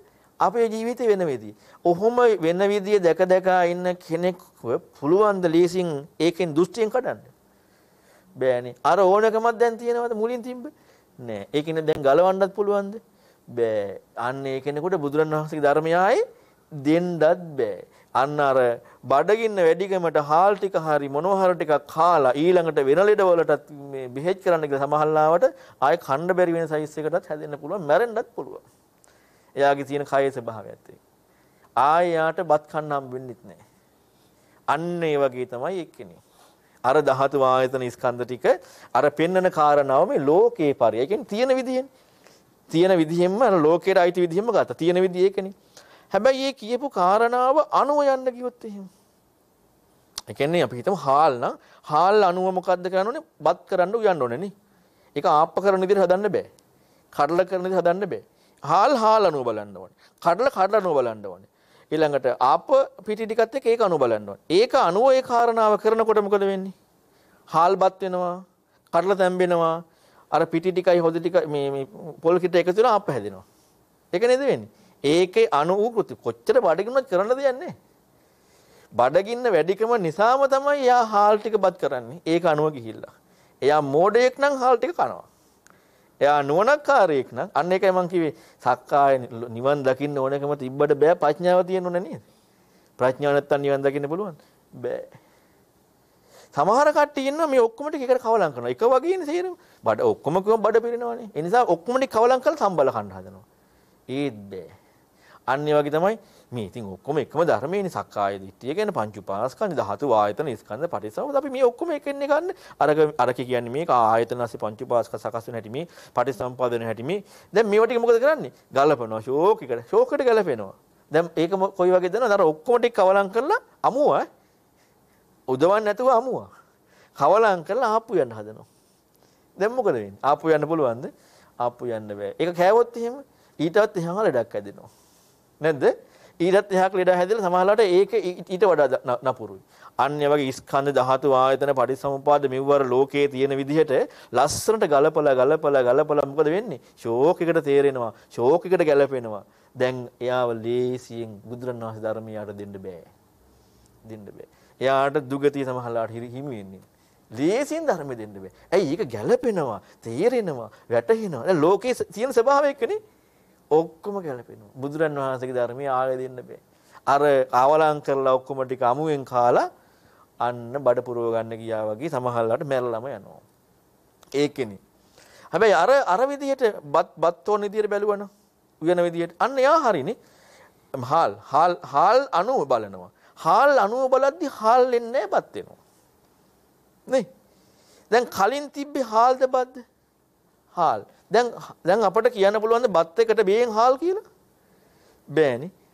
බුදුරන් වහන්සේ බත් කන හැටි කියලා දෙන්නේ. හාල් වලින් කියලා දෙන්නේ. හාල් වලින් බත් කන බත් ගැනයි කියලා දෙන්නේ. හාල් ගැන එහෙම නෙමෙයි කියලා දෙන්නේ බත් ගැන. හාල් වලින් කියලා දෙන්නේ. හාල් වල නැතුව කියලා දෙන්න බෑනේ. එතකොට බත් ගැන කියලා දෙන්න යමු වෙනකොට හාල් අණුව හාල් කියන කාරණාව අණුව කරන්න ඕන කෘත්‍ය වෙනකොට බත් වෙනවා. හැබැයි හාල් හාල් අණුව මේ අපු වෙන විදිහට කරන්න බෑ. කඩලා සම්මුණ විදිහට කරන්නත් බෑ. ඒකයි ධාතු ධාතු වශයෙන් බලන්න ඕනේ. ස්කන්ධ ස්කන්ධ වශයෙන්, පටිච්චසමුප්පාද පටිච්චසමුප්පාද වශයෙන්, ආයතන ආයතන වශයෙන් බුදුරණවහන්සේ කිව්ව ක්‍රමයට බුදුරණවහන්සේ කිව්වේ ලෝකේව භාවිතා කරලා හැබැයි බුදුරණවහන්සේ කිව්වේ ලෝකේ වචන නෙමෙයි. ලෙඩවීම වයසට මරණයටපත් වීම දුකන්නේ. අන්න ඒ ලෝකේ ටිකක් එක්ක කතා කරන්නේ. නැතු කතා කරන්න බෑනේ. අර හාල් ටිකේ කතා කරන්න. හැබැයි හාල් ගැන නෙමෙයි හාල් කාලා බෑ බඩ පුරව ගන්න. බත් කන්න ඕනේ. හාල් ගැන කතා කරේ මොකක් කියන්නද? බත් ගැන බත් කන්න කියන්නේ. අන්න හාල් ටිකක් තියෙනවා පුතේ කාපන්. කියන්න පුළුවන්ද? අන්න හාල් ටිකක් තියෙනවා උයාගෙන කාපන් බඩ පිටින්. අන්නේ උයාගෙන කන කනවා කියන කෘත්‍ය වෙන්නට බුදුරන් වහන්සේ අර ජාති ජරා මරණ මේවා ලෝකයේ තියෙන දේ එක්ක කතා කරා. හැබැයි ඒක නෙවෙයි කියන්නේ. ඒකයි මම උපදිනවා ලෙඩ වෙනවා කියන්නේ. එහෙනම් ඒක අනුව හිතන්න පෙළවෙනවා. අන්න යෝනිසෝ මනසිකාර. ඒක අනුව හිතන්න පෙළවෙනවා. ඒ ධාතු ආයතන ස්කන්ධ පටිසමුප්පාද. මේක අනුව හිතනකොට මොකද වෙන්නේ? හිතනකොට හාල් තියෙනවද අහපන්? නෑනේ බත්නේ තියෙන්නේ. හාල් තියෙනවද අහපන්? නෑ හාල් නෑ බත්. එතකොට දැන් ලෝකේට ආචි දෙයක් ආයි හම්බෙනවද අර ලෝකේ වචන කතා කරලා පෙන්නපු කාරණාවේ? නෑ ලෝක රජ දෙයක් හම්බෙන්නේ නෑ නේද? දැන් ජාරා දුක, මරණ දුක, ශෝක දුක කියලා පෙන්වුවට දැන් ඒක හම්බෙලාද? නෑ. අර චින්තන ශෛලිය එක්ක යමු වෙනකොට මොකද වෙන්නේ? ඒකක් හම්බෙන්නේ නෑ. මොකද්ද සිදුවෙන්නේ? සක්කාය නිරෝධය. දැන් එයා බත් කනවා. දැන් බඩ පිරුණා. දැන් බඩ පිරුණාට පස්සේ බත් තියනවද? ඇතුලේ බත් තියනවද? කන්න පුළුවන් බත්? නෑ නෑ. ඊළඟට යාට දැන් බඩ පිරුණාට පස්සේ බඩ පිරෙනකොට අන්න අන්න බත් අන් අතන කියන්න පුළුවන්ද? මම දැන් බත් කෑවා ෂෝක්. ඒ වේදෙන්නේ නෑ. අර ආයර කතා ඔක්කොම ඉවරයි නේද ඊළඟට. බඩ පිරුණාට පස්සේ කතා ඔක්කොම ඉවරයි. ආය වෙන කතා මොකුත් කියන්නද යන්නේ. ඊළඟට පුළුවන් මේ විදියට උයාගත්ත කෙනාට බතුයි ආපයි කඩලයි ඔක්කොම කවලම් කරලා කන්න පුළුවන්. කන්න පුළුවන් නේද එතකොට? එතකොට නම් බඩ පිරෙනවා. අන්න ඒ විදිහට තමයි ඒවා ඒ වශයෙන් යෝනිසෝ මනසිකාරය කරපු කෙනෙකුට හැබැයි එහෙම කරාට පස්සේ එයාට දැන් හාල්ද තියෙන්නේ. නේ බත්. දැන් එයා හාල් ගැන කල්පනා කරන්න කිව්වොත් හරියයිද? නෑ දැන් එයාට ධාතු ගැන කියලා අර ඇහෙන මූලික ටිකත් එක්කද තියෙන්නේ. නෑ නෑ ඒක නෙවෙයි දැන් අපි මුලින් ගලපන්න ගිය එකත් එක්ක නේද? ධාතු වායතන ස්කන්ධ. දැන් අපිට ඇහෙන ටිකත් එක්ක දැන් ඒක නෙමෙයි. දැන් එයාට අර හාල් ටික බත් වුණා. අමු කඩල ටික තම්පිච්ච කඩල වුණා. අර පොල් කිරි ටිකයි මේ හාල් පිටි ටිකයි ආප්ප වුණා. දැන් වෙනස්. දැන් වෙනම දෙයක්. දැන් එයාට ගලපන්න හිතන්න ඕනෙත් නෑ. හිතන්න ඕනද? නෑ එයාට හිතන්න ඕන දැන් එයාට ෂෝක් එකට බඩ පිරෙනවා මොනවා කොයි විදියට කෑවත්. එයාට ඕන විදියට කරන්න පුළුවන්. කවලම් කරගෙන උනත් තනියම උනත් අදාළත් යන්නේ. කාලි වුණාම බඩත් පිරෙනවා. දැන් හාලුත් එදිලා නෑ. බතුත් එදිලා නෑ. එක දෙයක් විතර මොකද්ද? බඩ පිරුණා. සක්කාය නිරෝධ වුණා. ඒක නිරෝධ වුණේ කොහොමද? මොකද්ද ගත්තේ? දැන් අර හාල් කියන එක ගැනිල්ලක් විතරයිනේ. ගත්තා ඒක. හාල් කියලා ගත්තානේ. හාල් ගත්ත. මොකටද බඩ පුරව ගන්නනේ? බත් යුවා. දැන් කෑවා. දැන් බඩ පිරුණා. දැන් එයාට බඩ පිරුණ විදිය ඇහුවොත් එහෙම කියන්නේ මොකද්ද? ආන් හාල් තියෙනවා, වෙන්න උයන්න, වෙන්න බත් වෙනවා, ඊළඟට කන්න, ඊළඟට බඩ පිරෙනවා. ඒ කරුණ ඔක්කොම විච්ච විදිය කියන්න වෙනවා. ඒ කාරණාව කියන්න වෙනවා. හැබැයි කියන්න බත් වෙනවා කියන්න බෑ හාල් ටික උයාගෙන කන්න. හාල් ටික උයාගෙන කන්න. අන්න ඒ දේ කියන්න වෙන්නේ. එතකොට බත් උනාට පස්සේ තමයි යාට කන්න පුළුවන්. මෙන්න මේ වගේ තමයි බුදුරයන් වහන්සේ ලෝකයේ වචන භාවිතා කරලා ලෝකයේ වචන භාවිතා කරලා ධර්මයේ ලෝකයාට දුන්න. හැබැයි දැන් ලෝකයා භාවිතා කරපු මේ වචනවල ස්වභාවය සත්‍යක්ද? ඒකාන්ත සත්‍යකද මේ ඉන්නේ? නෑ නේ. ඒකාන්ත සත්‍යක නෙවෙයි. දැන් මම ඔබට මේ කියලා දුන්නේ උපමාවක් ඈ. මුලින් මේ ධර්මයේ කියන අර මේ ධම්මචක්ක සූත්‍රයේ ඒ ඒ කාරණාවත් එක්ක හොඳට හිතලා බලන්න. ධර්මයේ කියන කාරණාව දකින්න ඕන විදිය. එතකොට බුදුරණවහන්සේ මේ ලෝකයේ වචන භාවිතා කරලා මේක පෙන්නපු හැටි. හැබැයි ලෝකයාට මේක අමුත්තා. ප්‍රඥාව නැති ලෝකයාට මේක අමුත්තා. ලෝකයාට මේ පෙන්නන්න දෙන කාරණාවට රිංග ගන්නවා. ඒක තමයි අර හාල් ටික කණ්ඩ යනවා. පෙන්නන්න දෙන කාරණාවට රිංග ගන්නවා. හාල් ටික කණ්ඩ යනවා. අර පොල් කිරි ටික බොන්න යනවා අර පිටි ටිකත් එක්ක. මේ ලෝකයා පෙන්වන්න දුන මේ ඒකයි බුදුරණවහන්සේ පෙන්වන්නේ අක්කේයස්මින් අක්කේය සංජිනෝ සත්ත. මේ මේ ඔක්කොම ලෝකේ කියවිල්ලක්. කියවිල්ලක් කියන්නේ කතා කිරිල්ල මෙන්න මේකත් එක්ක තමයි ලෝකයා හැඳිනීගෙන ඉන්නේ. මම මේකට පුංචි උදාහරණයක් පෙන්වන්නම්. උපමාවක් නෙමෙයි උදාහරණයක්. උදාහරණ කියන්නේ මොකද්ද? ජීවිතේ වෙන සිද්ධියක්. ජීවිතේ වෙන සිද්ධියක් කියන්නේ ධර්මයේද? නෑ. ජීවිත වෙන සිද්ධියනේ. ඒකෙන් ධර්මයට යොමු කරගන්න ඕනේ. ශ්‍රද්ධාවට යොමු වෙලා. දැන් ඔබට ඔන්න කනට සද්දයක් ඇහෙනව නේද? කනට සද්දයක් ඇහෙනවා. ඒ කියන්නේ දැන් ඔබට අනුමදස් වානාසිකේ කටහඬ ඇහෙනවා. කනට ඇහෙනවා. කාය කනට දැහෙන්නේ? මගේ කනට ඇහෙනවා. මගේ කනට ඒ සද්දය ඇහෙනවා. එතකොට ඔබ හොඳට හිතලා බලන්න අහනවා කියන ඇහුණා කියන කාරණාව එක නේද ඔබට කනයි සද්දයයි කියන දේ හම්බුනේ. නැත්නම් කන තිබිලා ඇහුණද? නැත්නම් අහන දෙයක් තිබිලා කන තියෙන ඇහෙනවද? හොඳට හිතලා බලන්න මොකද්ද වෙන්නේ කියලා. අහනවා කියන කාරණාව ඇහෙනවා කියන කාරණාව එක්ක නේද කනයි සද්දයයි කියන දෙයක් හම්බෙන්නේ. මම ඒකට උපමාවක් කියන්නම් කොන්න. ඔන්න දැන් අපි හිතමු අපි බත් කනවා. මම බත් කනවා. එතකොට කනවා කියන එකත් එක්ක නේද මමයි බතුයි කියන එක හම්බෙන්නේ. දැන් මේකෙදි හොඳට තේරුම් ගන්න වෙන කිසිදු ක්‍රියාවක් නැහැ. ඒ කියන්නේ අපි හිතන්නේ නැහැ මොකක්වත්. හිතන්නේ හිතනවා නම් අපි හිතන්න පුළුවන් ආන් කන කියලානේ. හිතන්නේ නැහැ. දකින්නෙත් නැහැ. දකිනවා නම් හිතන්න පුළුවන් ආන් ස්වාමීන් වහන්සේ කියලානේ. දකින්නෙත් නැහැ. හිතන්නෙත් නැහැ දැන් අහනවා. නැත්නම් ඇහෙනවා. ඇහෙනවා කියන ක්‍රියාවත් එක්ක ගත්තාම මොකද වෙන්නේ? කනයි සද්දයයි හම්බුණානේ. කනයි සද්දයි ඇහෙනවා කියන එක. දැන් ඒකනේ අපිට මැරුණාට පස්සේ ඇහෙන්නේ නැහනේ කන තිබ්බටනේ. නැත්නම් අපි අපි ඇස් දෙකෙන් කොහේරි බලන් ඉන්නවා නම් වෙන කොහේරි ඇහෙන්නේ නැහනේ නේ. ඒ කියන්නේ අහන්නේ නැහනේ කන කියන. ඒතකොට කන කියන කාරණාව යෙදিলা තියෙනවද අපට? ඒකට කන කියන්න පුළුවන්. කන කියන්නේ අහන දෙයකටනේ. ඒක අරකට කියන්න පුළුවන් මස් කෑල්ලක් කියලා නේ මොකක් හරි. කන කනයි සද්දයයි. අහනවා කියන එකත් එක කනයි සද්දයයි. එතකොට දැන් මම මම අහනවා මෙයා ඔය කට්ටියන්ගෙන් සද්දය කියන්නේ මොකද්ද? නෙමෙයි අහනවා කියන්නේ මොකද්ද? දැන් දැන් මේකේ ප්‍රධානලා තියෙන අහනවා කියන එකනේ. කනයි සද්දයයි කියලා හම්බුනේ අහනවා කියන එකත් එක්කනේ. මං අහනවා දැන් අහනවා කියන එක කියලා දෙන්න මට. අහනවා කියන්නේ මොකද්ද? කියලා දෙන්න පුළුවන්ද? සද්දය ඇහුණා. ඉතින් සද්දය කියන එක යෙදුනේ අහනවා කියන එකත් එක්කනේ. මං අහන්නේ අහනවා කියන එක මොකද්ද කියලා. කන යෙදුනේ අහනවා කියන එකත් එක්කනේ. අහනවා කියන්නේ මොකද්ද? කියලා දෙන්න බෑනේ. කියලා දෙන්න පුළුවන්ද? අහනවා එතකොට අහනවා කියන එකක් නැද්ද ඇත්තටම? මොකද්ද? කියලා දෙන්න බෑනේ. තියෙනවලු. මොකද්ද? නැද්ද? නෑ කියන්න බෑනේ. දැන් එහෙනම් අහනවා කියන එක ගැන හොයන්න ඕනේ නැද්ද? ඔන්නෝක හොයන්න පටන් ගත්තා නම් ඇසීම කියන කාරණාව හොයන්න මම කිය උදාහරණයක් ඈ. ඒකයි ධර්මය කියන්නේ ඊතර වීම.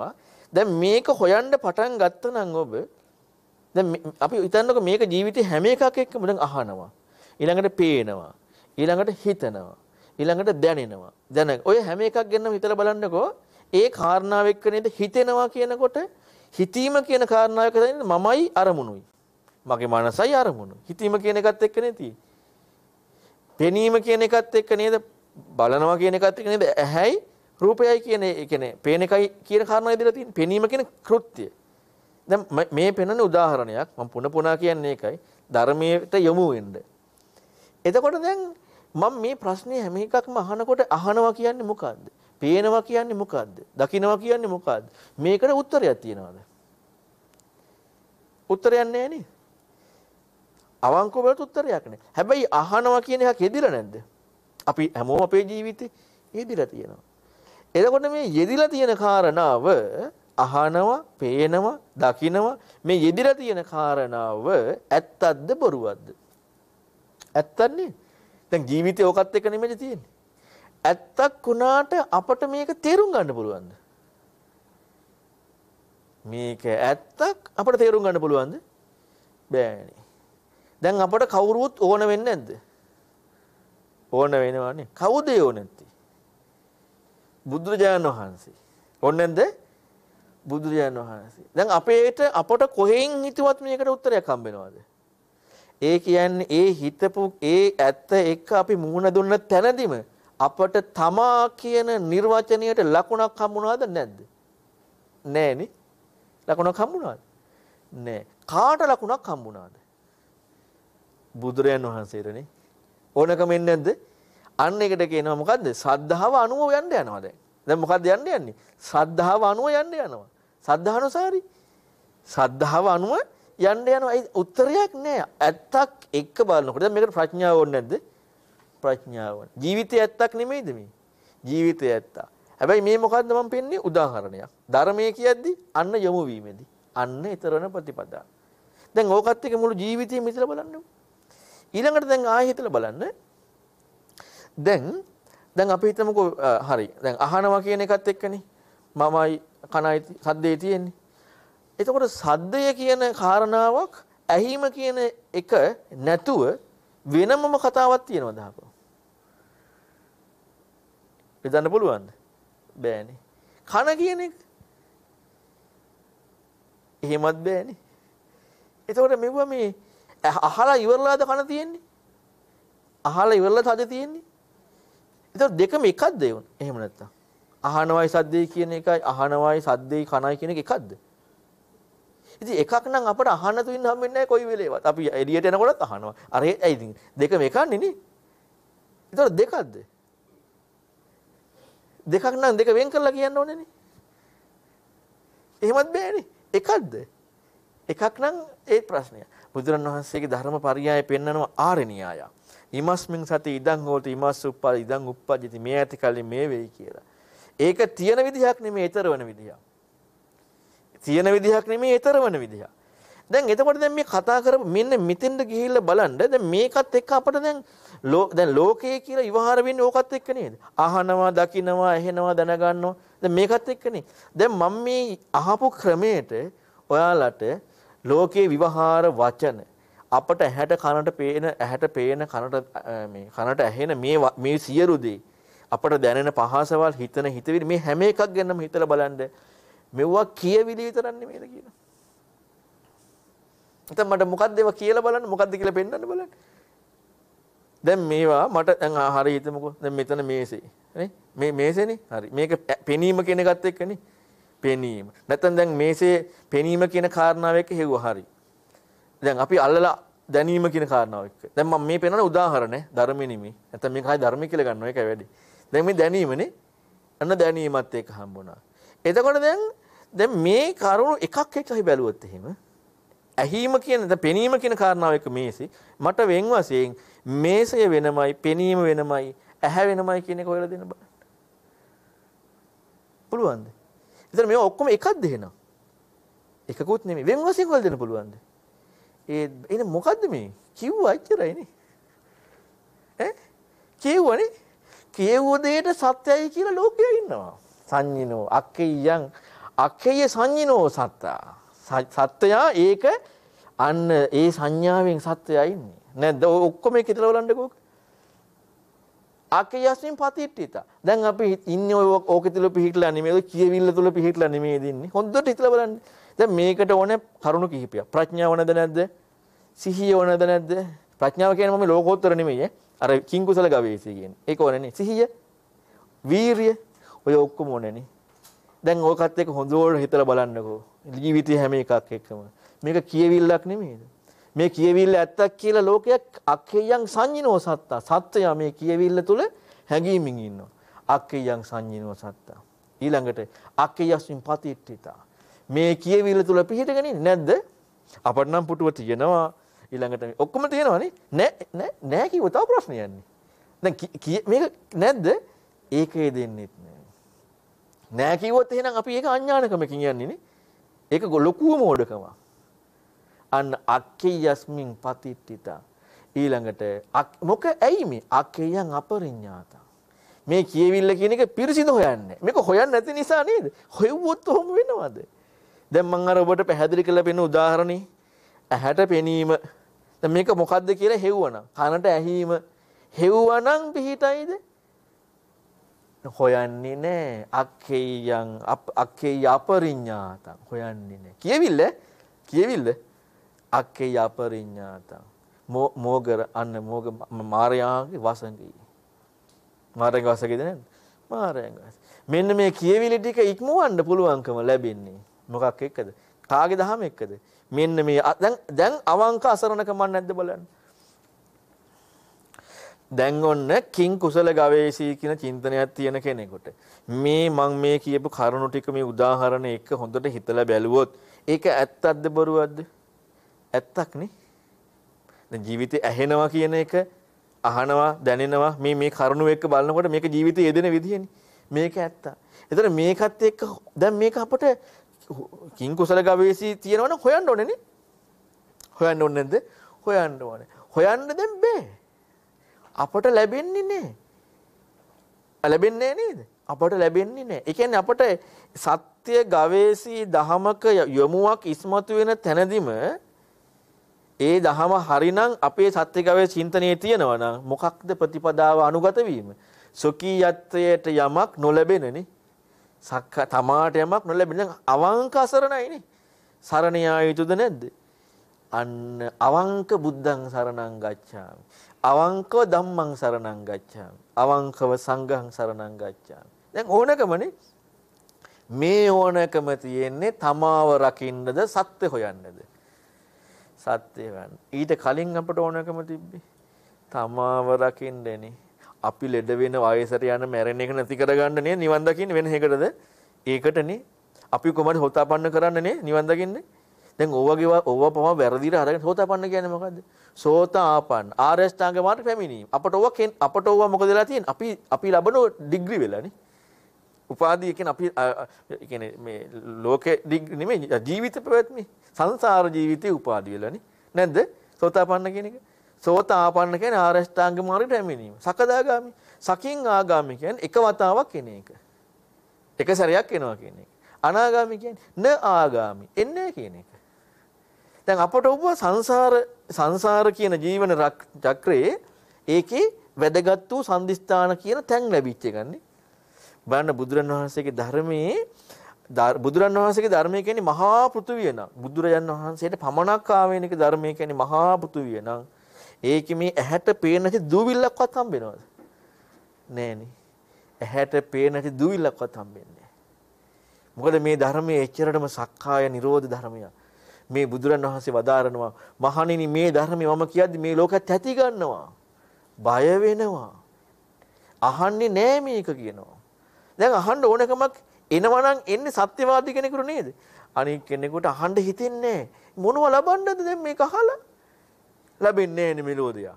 මේ කියනවා මේ සක්කාය නිරෝධය තමන්ට නැලෙන්නේ. ඉතින් අපි හැමෝම තමන්ට ලබන්නේ මොනවාරි හොයන්නේ. නැද්ද? ඒ කියන්නේ අපි බුදුරන් වහන්සේව ගන්න හිලව්වකට නේද? ඈ ගනුදෙනුවක් කරන්නේ. අපේට ගන්නෙ. බුදුරන් වහන්සේ අරගෙන අපි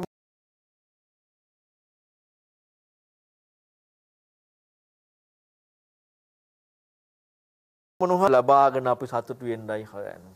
අපි සත්‍ය හොයනවා නම් සත්‍යවාදී නම් අන්න අපි අපට ලබන්න දෙයක් හොයන්නේ නෑ. මේ ලෝකේ අඩු කවුද? සත්‍ය හොයන අය. බුදුරන් වහන්සේගේ ධර්මයේ ලෝකේ කෙනෙකුට අහන්න ඇහෙන්න දෙයක් කොච්චර ලැබුණත් එයාට බුදුරන් වහන්සේගේ ධර්මය අහන්න බෑ. බුදුරන් වහන්සේ ධර්මය කොච්චර ඇහුණත් එයාට බුදුරන් වහන්සේ ධර්මය අහන්න බෑ. අන්න සුසුත සූත තියෙන එකයි. එයා අහන්නේ මොන ධර්මයේද? බුදුරන් වහන්සේගේ ධර්මය කිය කියා තමන්ගේ බණ. නැද්ද? තමන්ගේ බණ නෙමෙයි දහන්නේ. තමන්ගේ ධර්මයනේ. ඇයි තමන්ට තේරෙන එක නෙමෙයි දහන්නේ? අන්න සද්ධාවෙන් රුචියෙන් අනුශ්‍රවයෙන් ආකාර පරිවිතක්යෙන් දිටි නිච්චානක්කන්තියේ මෙන්න මේ වගේන් තමන්ට සැසඳෙන තමන්ට ගැළපෙන මෙන්න මේ කාරණාවෙක් අනුගත වෙන්නේ අපි බුදුබණ ඇහුවාය කියලා බොරුවට ලේබල් කරනවා. සක්කාය වර්ධනය කරගනිමි. සක්කාය තහවුරු කරගනිමි. ඉතින් මෙන්න මේ කාරණාව බුදුරජාණන් වහන්සේගේ ධර්මයට අපි යොමු වෙන්න උත්සාහ කරන්නට ඕන මේකත් එක්ක. ඒ කියන්නේ බුදුරජාණන් වහන්සේ මම අර ඔබට කියලා දුන්න කරුණුත් එක්ක බුදුරජාණන් වහන්සේගේ ධර්මයට යොමු වෙන්න. අපි දැනගන්නට ඕනේ මේ ඔක්කොම ටික ලෝකයේ වචන. ඒව දැන් ඒවත් වචන නෙමෙයිද? ඒවත් වචන. එතකොට ඒ වචන ටික ඇත්තක්ද තියෙන එකක්ද ඒකත් ඊතර වීමක් වෙන්නට ඕනේද? ධර්මයේ පහුරක්ද නැත්නම් ධර්මයේ හතරක් නැවැද්ද? පහුර. දැන් අපිට බලන්න ධර්මයේ පහුරක්ද හතරක් නැවැද්ද කියලා. හොඳට හිතලා බලන්න. ධර්මයේ පහුරක් කියලා දැනගන්නේ ධර්මයට යොමු වෙද්දිද නැත්නම් අවසානයේද? දැන් පහුරකට නගිනකොට ආ දැන් මම හතරක් නැවකට නැග්ගේ යනකොට පහුරක් වෙනවා. එහෙමද වෙන්නේ? නගින්නේ මොකකටද? හතරක් නැවකටද? නෑ පහුරකට. අපි නගින්නේ අපි නම් නගලා හතරක් නැවක් නැගලා යද්දි පහුරක් වෙනවලු. එතකොට අපි අතහරින්න. නේ? නගින්නෙන් පහුරකටනේ. ඒ පහුර පහුරක් කියන කෘත්‍යය දෙන්නට ඕනේ නේ. අන්න එතකොට අර වචනපත ඒ කතා කරපු ඔක්කොම අක්කේ කියපුවා නේද ඒවා. දැන් ඒ හැම එකක්ම ඊතර වෙන. ඉතින් සොකියත්වේ තහවුරු වෙන්නේ නැත්තම් හැම එකක්ම ඊතර වෙනවා කියන නිර්වචනය දෙනවනේ. ඔබ මේ කරුණු හොඳට අවධානයෙන් අහන්න. මොකද නැවත නැවත අහන්න මම මේකේ ක්‍රමානුකූලව ඔබට මේ මම මාතෘකා කරපු ගාතාවට මේ මුල ඉඳලා ක්‍රමානුකූලව මේ ධර්මයේ මොකද්ද කියන කාරණා විශ්මතු කරන්නක් එක් කරගෙන ආවේ. තව මේකේ අපේ ධර්මයේ හොයනවනම් තව ගොඩාක් හොයන්න තියෙනවා. මම මේ ධර්මයේ මොකද්ද කියන කාරණාව මූලිකව විශ්මතු කරන්න. සැබෑ ගැඹුරු ධර්මයේ. සැබෑ ප්‍රතිපදාව. ඉතින් මේකට අපි වෙනම ධාතු වශයෙන් හොයන්න ඕනේ, ස්කන්ධ වශයෙන් හොයන්න ඕනේ, පටිච්චසමුප්පාද වශයෙන් හොයන්න මේ හැම එකක්ම අර විදියටම හොයන්නට ඕනේ. අර ධම්මචක්ක සූත්‍රයේ තිබ්බ විදියට. අපට තේරෙන විදියට එහෙම නෙමෙයි. දැන් එහෙනම් ওই ජාති දුක, ජරා දුක, මරණ දුකට ඔහොමනම් අවිජ්ජා පත්‍ය සංකාරයම කොහොමද නේ? සංකාර පත්‍ය විඥාන එහෙම පංච උපාස්කන්ධ ධාතු එහෙම නේ. එනතිවා ඊතන්වත් දෙයක් නෑ නේ. මේ ටිකේ මේකේ අපි වැරදි ටිකක් දාගෙන අපි බුදුරන් වහන්සේගේ ධර්මය කියලා හිතන් ඉන්නවා නම් අරව ගැන හිතන්නවත් දෙයක් නෑ. ඒ නිසා මේ බුදු කෙනෙකුගේ වැදගත්කම ගැන හිතන්න. බුදු කෙනෙක් කියන්නේ මේ ලෝකේ සාමාන්‍ය කෙනෙක්ද අසාමාන්‍ය කෙනෙක්ද? අසාමාන්‍යයි. ඒක ඒක මේ ලෝකේ ශ්‍රේෂ්ඨ මිනිසෙක් නෙමෙයි. ශ්‍රේෂ්ඨ මිනිසෙක් නම් සිද්ධාර්ථ කුමාරයා. බුදුරන් වහන්සේ කියන්නේ එහෙම කියන්න බෑ. ඒක වචනයෙන් කතා කරන්න බෑ. ඉතින් අපි මේ අපට තේරෙන අපට විවහාර වෙන දෙයකට සමාන කරන්න පුළුවන් දේ උත්තරමයා කියපු වචන. ඒ කතා කරපු ටික බෑනේ. අපි ඇයි මේ අපට තේරෙන ජරා මරණ දුක කතා කරා කියලා හිතන්නේ? මේ ජාති ජරාපි දුක මරණම්පි දුක මේ අපට තේරෙන ටික මේ කිය. ඉතින් බුදු කෙනෙක් ඕනද ඔක කියලා දෙන්න? අපි දන්න ටිකමනේ බුදුරන් වහන්සේ කියලා තියෙන අපරාධෙනි බුදු කෙනෙක් කියලා අපි එකට ඕන්නේ ඕන්නේ නේද? ඕන්නේ නෑනේ කියන්නේ. ඉතින් බුදු කෙනෙකුගේ ධර්මය අසාමාන්‍යයි. ඒ අසාමාන්‍ය යමු අපට ඕන මේ ධර්ම ඉගෙන ගන්න. නැත්තම් පින්වතුනි බෑ. ඒ නිසා ඔබට මම මේ පැය දෙකක් මුළුල්ලේ සැබෑම බුද්ධ වචනයට යොමු වීම සහ ඒකට යොමු විය යුතු ආකාරය ඒකේ වැදගත්කම ඉස්මතු කරලා පෙන්වුවේ. හැබැයි මේක ඉගෙන ගන්න අපට අසාමාන්‍ය කැපකිරීමක් ඕනේ. ඒ ඕනකම එක්ක අපි මේ තැන ඉඳලා ඒ ඕනකම එක්ක මුල ඉඳලා ඒ ධර්මය අපි ඉගෙන ගන්න යමුනොත් අන්‍යයාට පොඩ්ඩක් හරි ශ්‍රද්ධාව තියෙනවා. මුල ඉඳලා අපි ඉගෙන ගත්තට පංච උපාස්කන්ධ ධාතු වායදන පරිසම්පාදේම නෙමෙයි. ඒවා ඉගෙන ගත්තම හොතපන්නත් වෙන්න එපෑනේ. මුල ඉඳලා මුල ඉඳලා ඉගෙන ගත්තා නම් අන්‍යයට සද්ධා මාත්‍රයක් හරි තියෙනවා. ඒ සඳහා ඔබට මේ ධර්ම දේශනාවත් උපකාරයක්ම කරගන්නවා කියලා දිෂ්ඨානයක් ඇති කරගන්න. හොඳයි පින්වතුනි අද දවසේදී මේ ධර්ම දේශනාව දායකත්වය ලබලා කටයුතු කරන්නේ වත්තර පදිංචි අතුල සිරිවර්ධන මහතා සහ නිලන්ති සිරිවර්ධන මහත්මිය විසින් ඒ වගේම මිය පරලෝයන්ට එදුණු සියලුම ඥාතිත මිත්‍රාදීන්ට පින් අනුමෝදන් කරන බලාපොරොත්තු වෙනවා 2021 මේ වසරේ මාර්තු මාස 9 වන දිනට 54 වන ජන්මදිනය යෙදුණු නිලන්ති සිරිවර්ධන මහත්මියට තුනුරුවන අනන්ත ආශිර්වාදය ලබා ගැනීම තමයි ප්‍රධාන අරමුණ. ඒ වගේම අතුල මෙලංක සහන් සරින්දි යන පවුලේ සියලු දෙනාටත් පවුලට සහ සම්බන්ධ වූ සියලු දෙනාටත් තුනුරුවන්ගේ ආශිර්වාදය ලබා ගැනීමත් ඒ වගේම තමයි දේශකයන් වහන්සේට නිදුක් නිරෝගී සුවය ධර්ම මාර්ග ඉදිරියට ගමන් කිරීමට සෙත් ප්‍රාර්ථනා කිරීම ලෝකවාසී සියලු සත්වයන්ට නිදුක් නිරෝගී සුවය ප්‍රාර්ථනා කිරීම බලාපොරොත්තු වෙනවා. ඉතින් අද දවසේ මේ මහානීය ධර්ම දානමය පුණ්‍ය කර්මයක් ඒ කියන්නේ මේ ලෝකයේ ශ්‍රේෂ්ඨම උත්මයාගේ වචනේ අන් අයට ශ්‍රවණය කරන්න සැලැස්වීම ඒක තමන්ගේ ජීවිතයේ ඊටාම පුණ්‍යවන්තම දෙයක් බවට පත් වෙනවා. ඉතින් මේ පින් ඒ අද ඒ මාර්තු මාස 9 වන දින 2021 මාර්තු මාස 9 වන දින 54 වන ජන්මදිනයේ දින නිරන්ත සිරිවර්ධන මහත්මියටත් ඒ වගේම පවුලේ සෑම දෙනාටමත් ඥාතිත මිත්‍රාදීන් සැමටත් උතුම් දහමින් සැනසෙන්නටම හේතු වාසනා වේවා. ඒ වගේම දේශකයන් වහන්සේටත් මේ සහ සම්බන්ධ වුණ ඔබ සැමටත් උතුම් දහමින් සැනසෙන්නට මේ සියලු පින් හේතු වේවා. මිය පරලොව ගිය සියලු ඥාතීන්ටත් පරලොව ජීවිත සුඛී සූපත් භාවයට පත් වෙන්නටම මේ සියලු පින් හේතු වාසනා වේවා. ආකාසට්ඨා ච බුම්මට්ඨා දේවානාගා මහිද්దికා පුඤ්ඤන්තං අනුමෝදිත්වා චිරං රක්칸තු ශාසනං ආකාසට්ඨා ච බුම්මට්ඨා දේවානාගා මහිද්దికා පුඤ්ඤන්තං අනුමෝදිත්වා චිරං රක්칸තු දේශනං ආකාසට්ඨා ච බුම්මට්ඨා දේවා නාග මහිද්దికා. පුඤ්ඤන්තං අනුමෝදිත්වා චිරං රක්ඛන්තු මං පරන්ති. සාදු සාදු සාදු. එම ධර්ම දේශනාව සිදු කළ කුසල බලයෙන් මාතලේ ඕවිලි කන්ද රෑන කෙටුවගල ආරණ්‍ය සේනාසනයේ සහ අනුරාධපුර කටු කැලියාව ධම්ම පාරමී ආරණ්‍ය සේනාසනයේ අධිපති පූජ්‍යපාද අලව්වේ අනෝමදස්සි ගෞරවනීය ස්වාමින් වහන්සේට ප්‍රාර්ථනීය බෝධියකින් උතුම් වූ චතුරාර්ය සත්‍ය ධර්මයේම අවබෝධ වී අමා මහ නිවනින් සැනසෙන්නට හැකියාව ලැබේවායි. අපි සාදු නාදදී ප්‍රාර්ථනා කර සිටිමු. සාදු සාදු සාදු. එම ප්‍රාර්ථනයත් සමගින් බෞද්ධ ආරෝප වාහිනිය වත්තල පදිංචි අතුල සිරිවර්ධන මහතාගේ සහ නිලන්ති සිරිවර්ධන මහත්මියගේ නිවසේදී සිදු කළ මෙම බාහිර පටිගත කිරීම මෙතකින් නිමාවට පත්වනවා. සදහැති ඔබ සමට සම්මා සම්බුදු සරණයි.